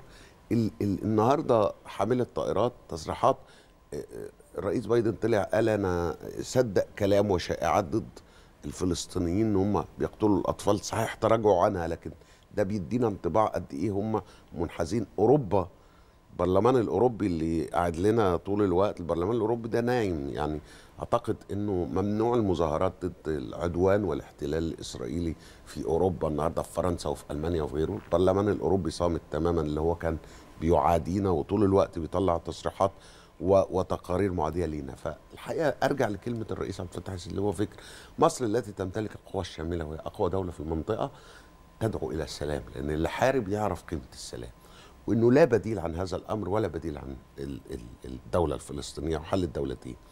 النقطة الثانية والمهمة في هذا الأمر هو تحميل المجتمع الدولي مسؤولية إدخال ال- ال- المساعدات الإنسانية. انه ال- الاحتلال الاسرائيلي الحقيقة تصرف بي- بي- ويبيد حتى المناطق أو الممرات اللي مفترض تدخل منها المساعدات الغذائية. واظن إنه في جهات في أوروبا وغيره بدأت تؤيد الطرح المصري في هذا الأمر. مصر منذ اللحظة الأولى سيارات الاسعاف المستشفيات التجهيزات الطبيعية مع التأكيد على فكرة إنه النهارده أصبح في لأنه هذا اليمين الإسرائيلي غير المدرك لخطورة هذا الأمر. اولا القضية الفلسطينية يستحيل تصفيتها الفلسطينيين أكتر ناس بي بيساندوا ده. لكن النهارده بنتكلم على حرب إبادة شاملة ومحاولات بعد قطع الكهرباء والمية والطاقة والاتصالات وكل شيء في تدمير شامل فالرئيس نبه لفكرة إنه المساعدات الإنسانية وكمان الحقيقة إنه مصر السنة اللي فاتت هي اللي قدمت وعملت الإعمار 500 مليون دولار. أظن صحيح. إنه جزء كبير جدا منهم آه، تم تدميره. سيادة الرئيس امبارح كان عنده رسائل يمكن تكون متتابعة ومرتبطة ببعضها. سيادة الرئيس امبارح اتكلم عن الحدود الجغرافية الثابتة للدولة المصرية واتكلم عن المنهجية المصرية إنها عمرها ما كانت دولة غازية ولكن هي دولة بتحافظ دايما على حدودها وعلى السيادة المصرية دائما وأبدا. واتكلم في نفس الوقت كمان سيادة الرئيس عن أهمية آه، ثبات إخواننا في آه، آه، فلسطين وأهمية آه، ثباتهم وصمودهم للحفاظ على القضية الفلسطينية بدعم من مصر. ده كلام مهم جدا. اولا ال- الفاشيست ال- ال- الإسرائيليين بيطلعوا تصريحات شفنا للأسف في بعض المنصات المحسوبة التي تروج لهذا الأمر المنصات المعادية. وهنيجي للنقطة دي لأن الرئيس نبه لفكرة الوعي ده. المنصات اللي بتروج ال- ال- الرؤية الإسرائيلية اللي هو ما الفلسطينيين يروحوا مصر يروحوا غزة. الضغط على الفلسطينيين من الضفة يروحوا الأردن والحقيقة مصر والأردن من الدول المهتمة جدا وال- والملاصقة واللي بتتحمل مسؤولية حقيقية والمستهدفتان بالشائعات الحقيقة والعدوان وغير الكلام. فمنصات بتروج هذه الرؤية الفاشية العنصرية اللي بتقوم على التصفية. والرئيس كان واضح جدا في هذا الأمر. الحقيقة مش أول مرة. إنه أي مماحكات أو حلول أو ادعاءات لتصفية القتال الفلسطيني مرفوضة اولا الفلسطينيين أكتر ناس بيرفضوها على مدى أكتر من 70 سنة رفضوها وفشل الاحتلال في إنه يصفي القضية الفلسطينيه وإنه ما يتم الحديث عنه هذه خطط قديمة بالمناسبة هي مخططات بقى لها سنين صحيح. ونضغط عليهم فيروحوا غزة أو يروحوا الأردن ون- ونصفي القضية مش هيحصل ومصر واضحة جدا في هذا الأمر وأظن زي ما أنا قلت في البداية المكان اللي انطلقت منه ال- التصريحات واضح جدا إنه مصر بتمتلك قوة وعندنا تجربة بنحتفل 50 سنة أظن إنه باعتراف جولدا مائير وباعتراف قيادات إسرائيل إنه الهزيمة القوية جدا لجيش الدفاع الاسرائيلي فدي نقطة محسومة ويمكن أن تتكرر. أظن ده ما حدش بيدعو طبعا للحرب بالعكس الرئيس من هذا المكان ومن استعراض هذه القوة الشاملة للدولة المصرية بيقول إحنا السلام لأن إحنا اللي حاربنا وانتصرنا وعارفين السلام. هذه نقطة مهمة. النقطة الثانية والضرورية جدا في هذا الأمر هو إنه يجب وقف هذا العدوان بسرعة لأنه في دمار شامل وإنه مصر بقوتها وبالثقة الإقليمية والدولية بالاتصالات وغيره آه، من المهم إن هو آه، تستخدم قوتها لإنه آه، تتواصل مع كافة الأطراف لوقف هذه الحرب ودي نقطة مهمة قوي لأنه الرئيس بتكلم على بنتكلم على القوات المسلحه أو قوة رشيدة تحمي ولا تهدد عندنا مثالين عندنا الخطوط الحمراء في الغرب. اللي حددها القوات المسلحة حددتها مصر وتم تطبيقها وتراجعت. ونفس هذه القوة التي أغاثت الأشقاء في ليبيا. حاملة الطائرات راحت بعد الإعصار وقدمت كل المساعدات. أظن ده واضح واضح أن هذه القوة قوة عربية حقيقية. وده برضو نقطة مهمة. دايما الرئيس يتحدث على إنه في قمة جدة الأخيرة قال إن إحنا لا يجب أن نترك أنفسنا نهبا لتدخلات خارجية ولا لازم يكون في موقف عربي. صحيح. العرب وكان في رمزية اللي أنا ضربت بيها مثلا من شوية اللي هو أعلام الدول العربية، الدول العربية لما تضامنت في 73 استطاعت أن تنجح، تستطيع الدول العربية النهارده اللي لديها طموحات في التنمية وفي الاستقرار وإن تنتهي هذه القضية بالحل الحقيقي والنهائي لازم يبقى في موقف عربي واضح إنه العمل الجماعي هو الذي يعطي كل دولة عربية قيمتها، دول عربية كبيرة ومصر بتتواصل مع كل الدول العربية وتؤكد ده. انه لازم يبقى في موقف من الجامعة العربية ومن القمة العربية. النهارده في مصر في الإمارات العربية المتحدة في المملكة العربية السعودية في دول المغرب العربي في آه، يمكن ده- رمزية العراق. في الأردن وكل هذه الدول الحقيقة موقفها واضحة في هذا الأمر. آه، آه، كمان الحقيقة بناء موقف عربي دايما الرئيس يتحدث هذا نعمل معا وإنه العرب يكونوا فعل مش رد فعل. وبالمناسبة رؤية مصر السابقة منذ سنوات الرئيس كان يقول أننا لا يجب أن ننتظر إنه العالم مشغول بصراعاته. يعني الولايات المتحدة النهارده لم تعد الدولة القادرة على التدخل. النهارده فشلت وفشل النظام الدولي في وقف الحرب في أوكرانيا. ما يزال هناك انحيازات وازدواجية واضحة. في ازدواجية ضد المعايير. الفلسطينيين. معايير مزدوجة جدا. في ناس في الغرب في الاتحاد الأوروبي أو في أوروبا صحيح تراجعوا كان قالوا نمنع عليهم. حضرتك سؤال أين أين حقوق الإنسان مما يحدث في غزة؟ ما هو ده المشكلة. بيع... ممكن ال- التظاهر لدعم إسرائيل لكن الاحتلال اللي بيضربوا اللي بيموتوا الأطفال اللي 60% من الضحايا أطفال. لكن بيعتقلوا أي حد يتظاهر من أجل الحقوق الفلسطينية والعرب. فالنقطة دي الاتحاد الأوروبي أوروبا موقفها عائم جدا وموقفها أولا هم نفسهم اللي برضو مشوا ورا الولايات المتحدة في هذه الحرب وبايدن بيقود العالم إلى حرب أخرى والصدام فيه عجز واضح جدا. نفس الأمر في حاملة الطائرات تروح أنت رايح تضرب ناس أصلا هم بيتم تصفيتهم بشكل عنصري والاحتلال مهما كان الخلاف في هذا الأمر. لكن خلينا نقول نرجع لمصر تاني. الرئيس اما في يوليو اللي فات اما استضافنا جلسات كثيرة جدا على مدى السنوات للمصالحة الفلسطينية خلينا. نقول إنه ربما تكون ميزة إنه هذا الاحتلال العنصري الذي توحد ونتنياهو دعا المعارضين إلى إنهم يلتموا طب أنت النهارده في خطر هل يجب الاستماع إلى صوت مصر وصوت العقل صحيح. في المصالحة. بين الفصائل وكان في تصريحات حقيقه إيجابية من الفصائل في يوليو اللي فات دي نقطة في غاية الأهمية يعني إحنا بنتكلم رؤى مصر ورؤى الرئيس عبد الفتاح السيسي على مدى السنوات اللي فاتت كلها كانت تتوقع هذا الأمر وتتوقع الانفجار أستاذ أكرم. وتحذر منه نعم أستاذ أكرم يمكن الرئيس استخدم آه، يعني بالأمس قبل الحديث عن تصفية القضية الفلسطينية الحقائق بأن مصر بتستضيف 9 مليون من الضيوف الأشقاء في الدول العربية التي بها مشاكل داخلية ولديها قدرة أيضا أن تستضيف اشقائنا بالفعل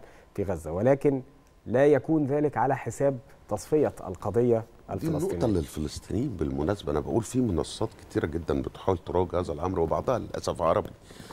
بي- بيتيحوا الفرصة لل fascist الإسرائيليين أنهم يطرحوا هذا الأمر. وفي حتى مسؤول أوروبي أظن أو مسؤول أمريكي نائب وزير الدفاع أو حاجة بيقول إنه يعملوا ممرات آمنة يخرجوا فيها. زي اللي حصل من أوكرانيا لبولندا. بولندا لما فتحت ممرات النهارده في حق العودة ليهم يقدروا يرجعوا في أي وقت. كمان اللي الرئيس أكد عليه ده برضو شرح واضح للموضوع. إحنا لا نرفض استضافة أي آه، أشقاء عرب أو حتى أفارقة. وأظن 9 مليون وأكثر من هذا الرقم يعني الأرقام كثيرة. يعني ما يجري في السودان ما يجري في سوريا ما يجري في ليبيا ما ده حاصل على لكن الفلسطينيين أكتر ناس منتبهين لهذا الأمر. لأنه قبل كده إحنا بنتكلم على 3.5 مليون في غزة أو أكتر. في 13 مليون في آه، الأراضي الفلسطينية. في ملايين فلسطينيين تم تهجيرهم ومنعهم من العودة برغم إنهم بيحملوا مفاتيح بيوتهم في غزة. فدي نقطة في غاية الأهمية.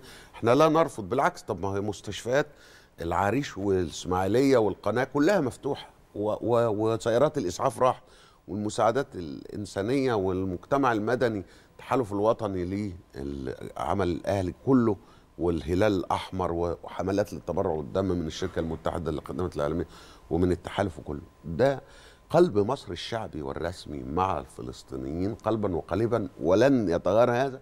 ومصر مش بنتكلم على شوفينية أو ده الحقيقة أن مصر هي من حارب ودفع اثمانا كثيرة والبعض الآخر كسب من هذه الاثمان المصريين ما كسبوش. وده الثمن اللي إحنا بندفعه. عشان كده إحنا حاسين كويس قوي بقيمة الحرب والسلام. صحيح. وإنه لا بديل عن السلام والدولة الفلسطينية ولا التراجع عن هذا الأمر. والرئيس كان محدد دي خطوط حمراء أعلنت في وقت مهم يجب أن يسمعها الجميع. ولا تم هناك بقى إيه؟ النقطة المهمة في هذا الأمر ما نبه إليه الرئيس في هذا الأمر.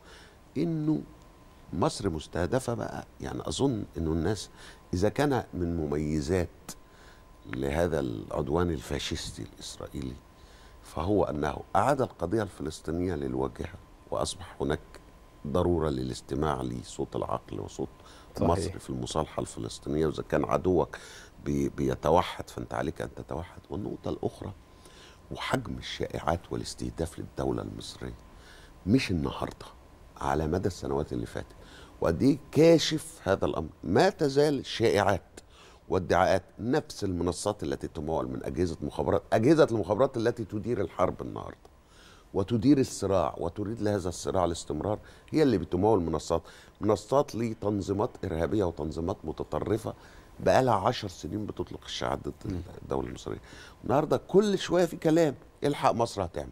ده مصر عملت كذا ده كذا. والأردن الشقيق الحقيقة مستهدف لأن دول دولتين المواجهة والدولتين المعنيتين برفض تصفية القضية الفلسطينية. واظن التواصل وأكثر الدول والاتصالات ده. تضررا.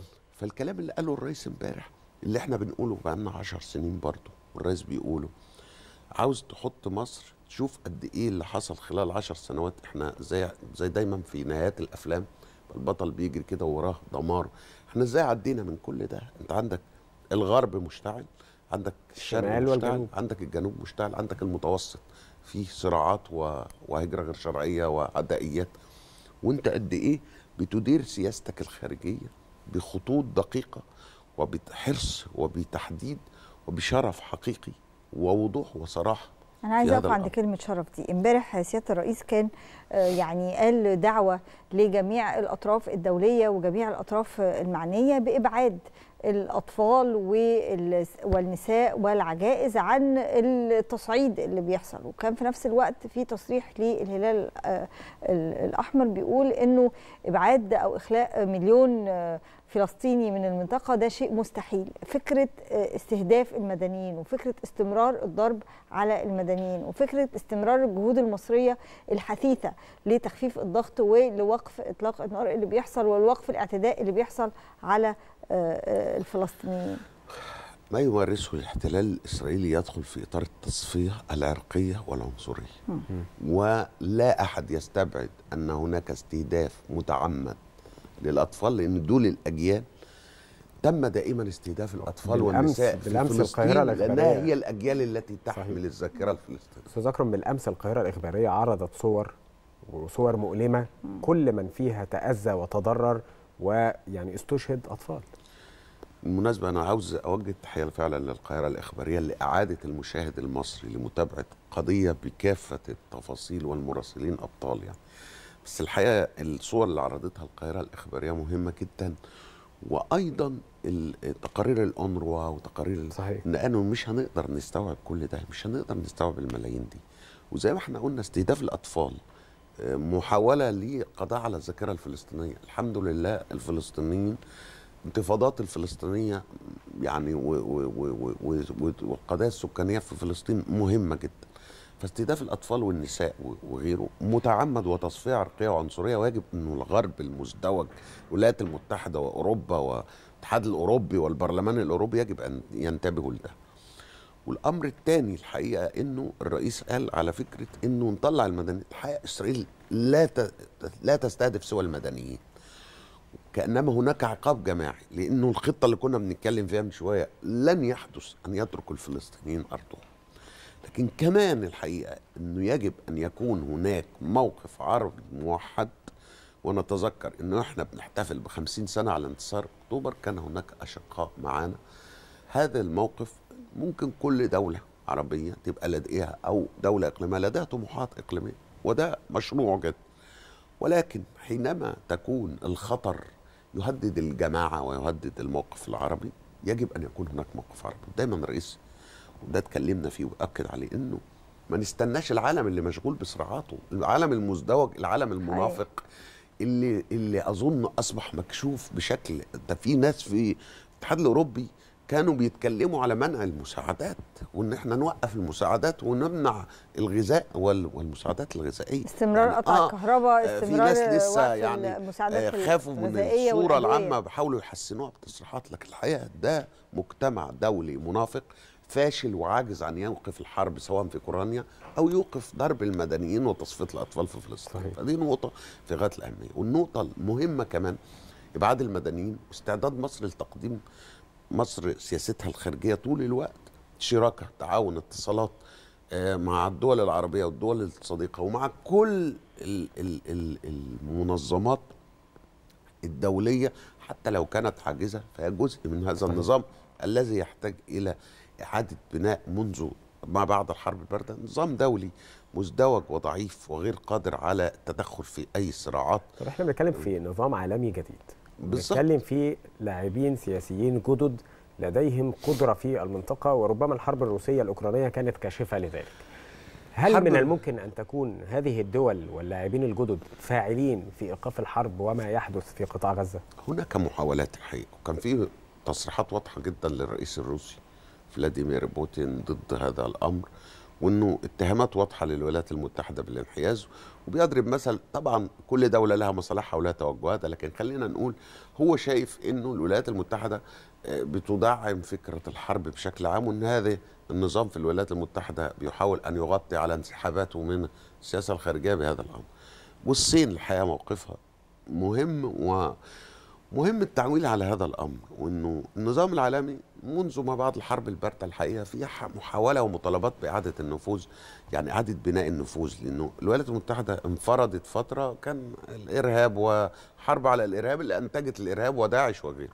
وربيع وال- والمحاولات الحديث عن الديمقراطية أظن بقت نتائجها واضحه في العراق وفي سوريا وفي اليمن وفي صحيح. ليبيا وفي غيره يعني يعني دي نتائج لم يكن ربيعا عربيا يعني. آه وده أصبح شتاء الحياة وخريف وللأسف الشديد كمان إنه الأمر مش مرتبط بإنه رغبات التغيير يعني مم. بالمناسبة التغيير ده مشروع والتغيير يمكن إحنا بنتكلم في في وقت مهم التغيير المتدرج وقدرتنا على الفهم التغيير بوعي مش السقوط ضحايا للشائعات وغيره. النهارده أنا بتكلم على إنه مصر مستهدفة قد إيه ونفس المنصات الصامتة والتنظيمات الإرهابية وغيره التي تصمت أمام العدوان. وداعش ده اللي كان بيقتل قتل من المسلمين وقتل من البشر أضعاف من ما واجه أي أعداء.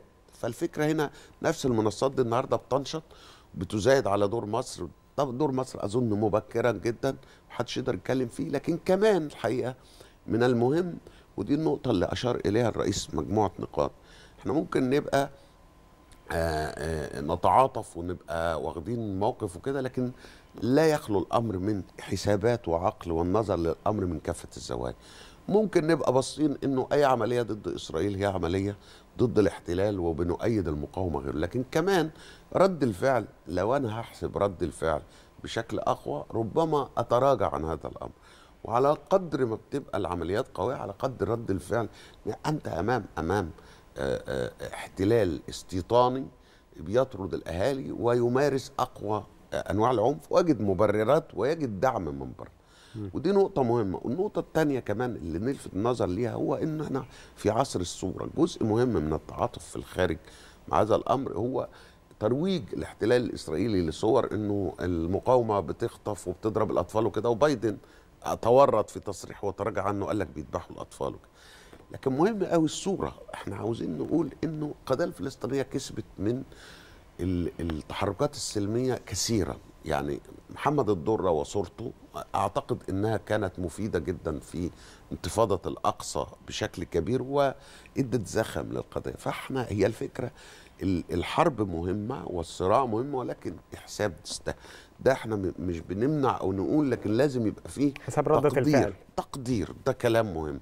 وده كلام الرئيس أشار إليه بشكل واضح وبشكل يعني آه، آه، يقدم أفكار مهمة فعلا. الامر الثاني هو إنه آه، الوحدة.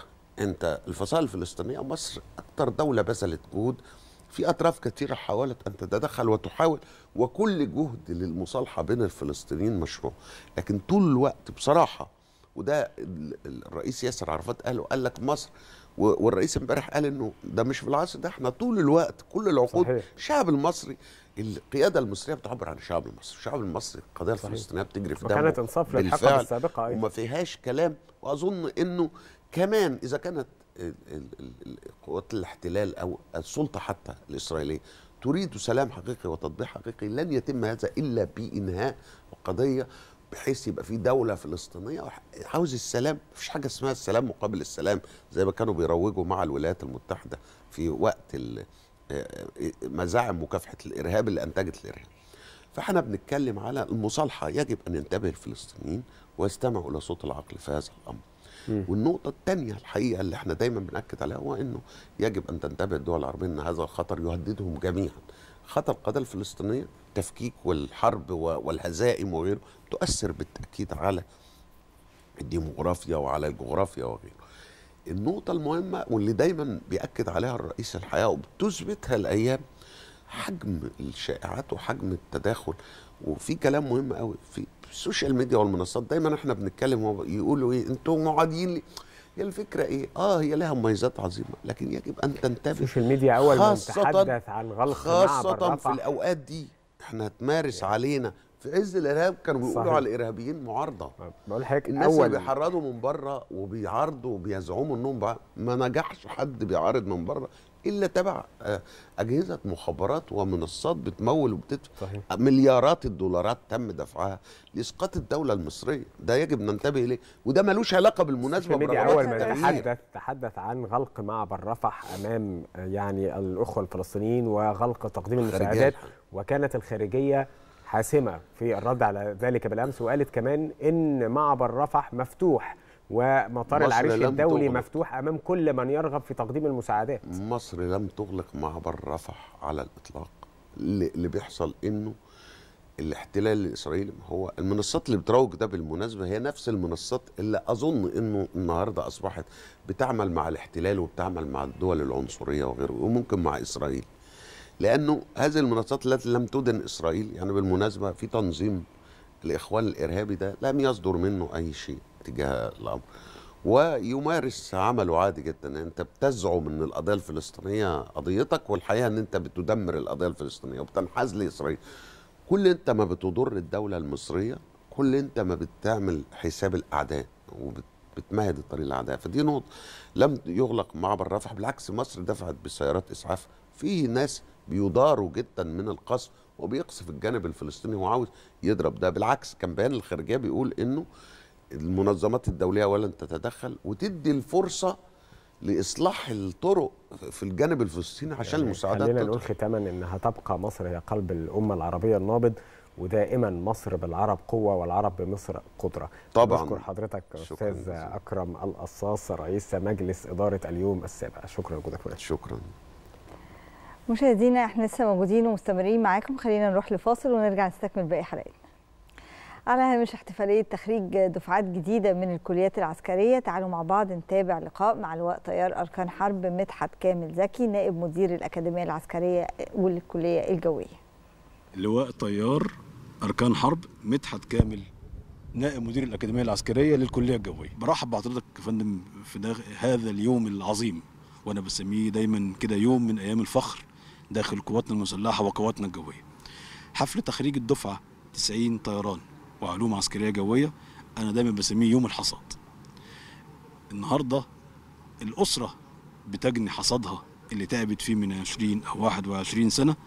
الطالب بيجني حصاد تعبه خلال ثلاث سنوات دراسية. كان مفيش شك إنهم كان فيهم تحديات كتيرة جدا. انما قدر الطالب أو الخريج النهارده يستوعبها بكل ثقة وبكل نجاح أصبح النهارده وإحنا بنحضر حفل تخرجه إحنا واثقين تماما من أدائه ومن المستوى اللي وصل فيه في التدريب. آه، مفيش شك إن التطور المستمر والتطور اللي حصل داخل قواتنا الجوية خلال الفترة الزمنية السابقة كان لازم يكون معاه تطور واضح وتطوير واضح جدا لكل ما هو بيخص عملية التعليمية داخل الكلية الجوية. ده ليه هيحقق استيعاب الخريج يقدر يستوعب بكل يسر وبكل سهولة كل ما هو جديد في علوم الطيران. التطور السريع في علوم الطيران وأسلحة الجو المختلفة لازم يكون معاه تطور كبير ومتلاحق داخل الكلية الجوية. إحنا بنطور تقريبا المناهج التعليمية بتاعتنا تقريبا بنراجعها سنويا. بنطلع دايما على كل ما هو جديد في علم الطيران سواء في الأكاديميات الخارجية أو في الدول الصديقة والشقيقة. أيضا كان في لقاء آخر بالأمس على هامش احتفالية تخرج دفعات جديدة من الكليات العسكرية مع لواء أركان حرب صلاح الدين محمود مدير الكلية العسكرية التكنولوجية. وأركان حرب أكرم صلاح الدين محمود مدير الكلية العسكرية التكنولوجية. آه، بداية أنا بتوجه بخالص التهنئة والشكر والاعتزاز لأبناء الخريجين وأسرهم على التخرج بعد إنهاء فترة مهمة جدا في حياتهم العسكرية وهي التأهيل والدراسة داخل الكلية. وبداية تولي المسؤولية ك- بعد ما تعينوا آه، آه، برتبة الملازم تحت الاختبار ضمن صفوف القوات المسلحة. والاحتفال ده جه في توقيت متزامن مع ذكرى خالدة وذكرى عظيمة وهي الاحتفال بمرور خمسين عام على انتصارات أكتوبر العظيمة. بأوصيهم التمسك بشعار كليتهم. الإيمان العمل التطوير. الإيمان بالله الإيمان بالوطن الإيمان بنفسك الإيمان بمهمتك هي الخطوة الأولى لتحقيق أهدافك داخل القوات المسلحة. العمل العمل بكل إتقان وإخلاص وبذل كل غالي ونفيس لصالح المحافظة على الكفاءة الفنية لمعدات وأجهزة القوات المسلحة. ده مش هيتم إلا بالعمل تحت مظلة علمية وفكر متقدم أنت اللي بتحدده لنفسك فابذل فيه كل مجهود. التطوير التطوير العنصر البشري هو دايما العنصر والركيزة الأساسية المهمة جدا في أي مؤسسة أو أي منظومة. وبالتالي بأوصي طور نفسك علميا وثقافيا ومعرفيا. خليك دايما على اطلاع دائم بكل ما هو جديد في مجال التكنولوجي لأن التحدي اللي هيواجهك بعد التخرج واحتكاكك بالأجهزة والمعدات وأنظمة التسليح الموجودة حاليا هي التكنولوجيا اللي موجودة فيها. ولكي تكون قادر على استيعابها وتطويرها والمحافظة عليها لابد إن أنت تطور نفسك وأتمنى لك كل التوفيق إن شاء الله. الحقيقة بدأ التطوير في الكلية بتوجيه من السيد القائد رئيس الجمهورية القائد الأعلى للقوات المسلحة بشأن تطوير التعليم الفني في مصر. ومن هذا المنطلق وجه السيد القائد العام للقوات المسلحة وزير الدفاع والإنتاج الحربي والسيد رئيس أركان حرب القوات المسلحة ورئيس المجلس الأعلى للكلية باتخاذ كافة الإجراءات لتطوير الكلية. جينا لما جينا نطور الكلية ابتدينا نعمل مؤتمرات ودراسات مع جميع جهات القوات المسلحة زي الأفرع الرئيسية القيادات الهيئات الإدارات لتحديد مواصفات الخريج. إيه اللي أنت طالبه في مواصفات الخريج لما ينضم إلى السلاح بتاعه؟ وصلنا إن إحنا إن شاء طب ابتدينا نطور في المنهج بما يتواكب مع دراسته جوه الكلية وبما يتواكب ويتماشى مع الأنظمة الحديثة والمعدات والأسلحة الحديثة الموجودة بالقوات المسلحة. طورنا في المدرس في تأهيله ورفع مستواه العلمي الأجهزة والمعدات والمعامل والورش نفسها ابتدت تتطور بما يحقق ويضمن مستوى الاستيعاب للطالب قدرته على الابتكار. إحنا حاليا في إطار التعاون مع الجامعات التكنولوجية في هذا المجال وبنسعى حاليا لتوقيع بروتوكولات مع أفضل الجامعات العالمية في المجال التعليم التكنولوجي. وفي إطار نفس الاحتفالية خلينا نتابع بقية لقاءاتنا. دلوقتي معنا لقاء مع لواء بحري أركان حرب أشرف المشرفي نائب مدير الأكاديمية العسكرية للكلية البحرية.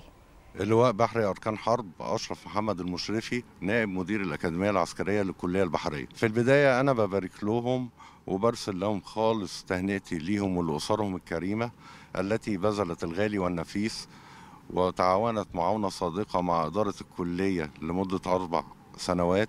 انتظارا لهذا اليوم المشهود. بقول لهم لقد نلتم الشرف للانضمام للقوات المسلحة. فكونوا أهلا لهذا الشرف. حافظوا على سلاحكم ومعداتكم. أه تقربوا من جنودكم وكونوا قدوة لهم. علموهم فهم خير جنود الأرض. لا تنسوا القسم الذي أقسمتموه. وليكن شعاركم الدائم الشرف العلم الفداء. في البداية إحنا بيتم الدراسة في الكلية البحرية من خلال مواد نظرية ومواد عملية. المواد النظرية تم تطوير جميع مناهج الدراسية للكلية البحرية لتواكب التطور في منظومات التسليح الحديثة وتتماشى مع الوحدات البحرية التي انضمت حديثا للقوات البحرية. تم تحويل نظام التعليم داخل الكلية إلى نظام التعليم الرقمي ونظام التعليم الرقمي ده بيسهل للطالب الحصول على المعلومة بالإضافة اللي هو مزود بأفلام تعليمية للطالب بتساعده على العملية التعليمية. بنوك الأسئلة بقت كل الامتحانات إلكترونية والطالب أصلا ممكن من خلال بنوك الأسئلة بيتعرف على مستواه الحقيقي. من الناحية العملية إحنا بننفذ عدد اتنين تدريب للطلبة تدريب الداخلي وتدريب الخارجي. التدريب الداخلي بيبقى داخل مسرح عمليات جمهورية مصر العربية في البحر المتوسط داخل نطاق الأصول الشمالي والبحر الأحمر داخل نطاق الأصول الجنوبي.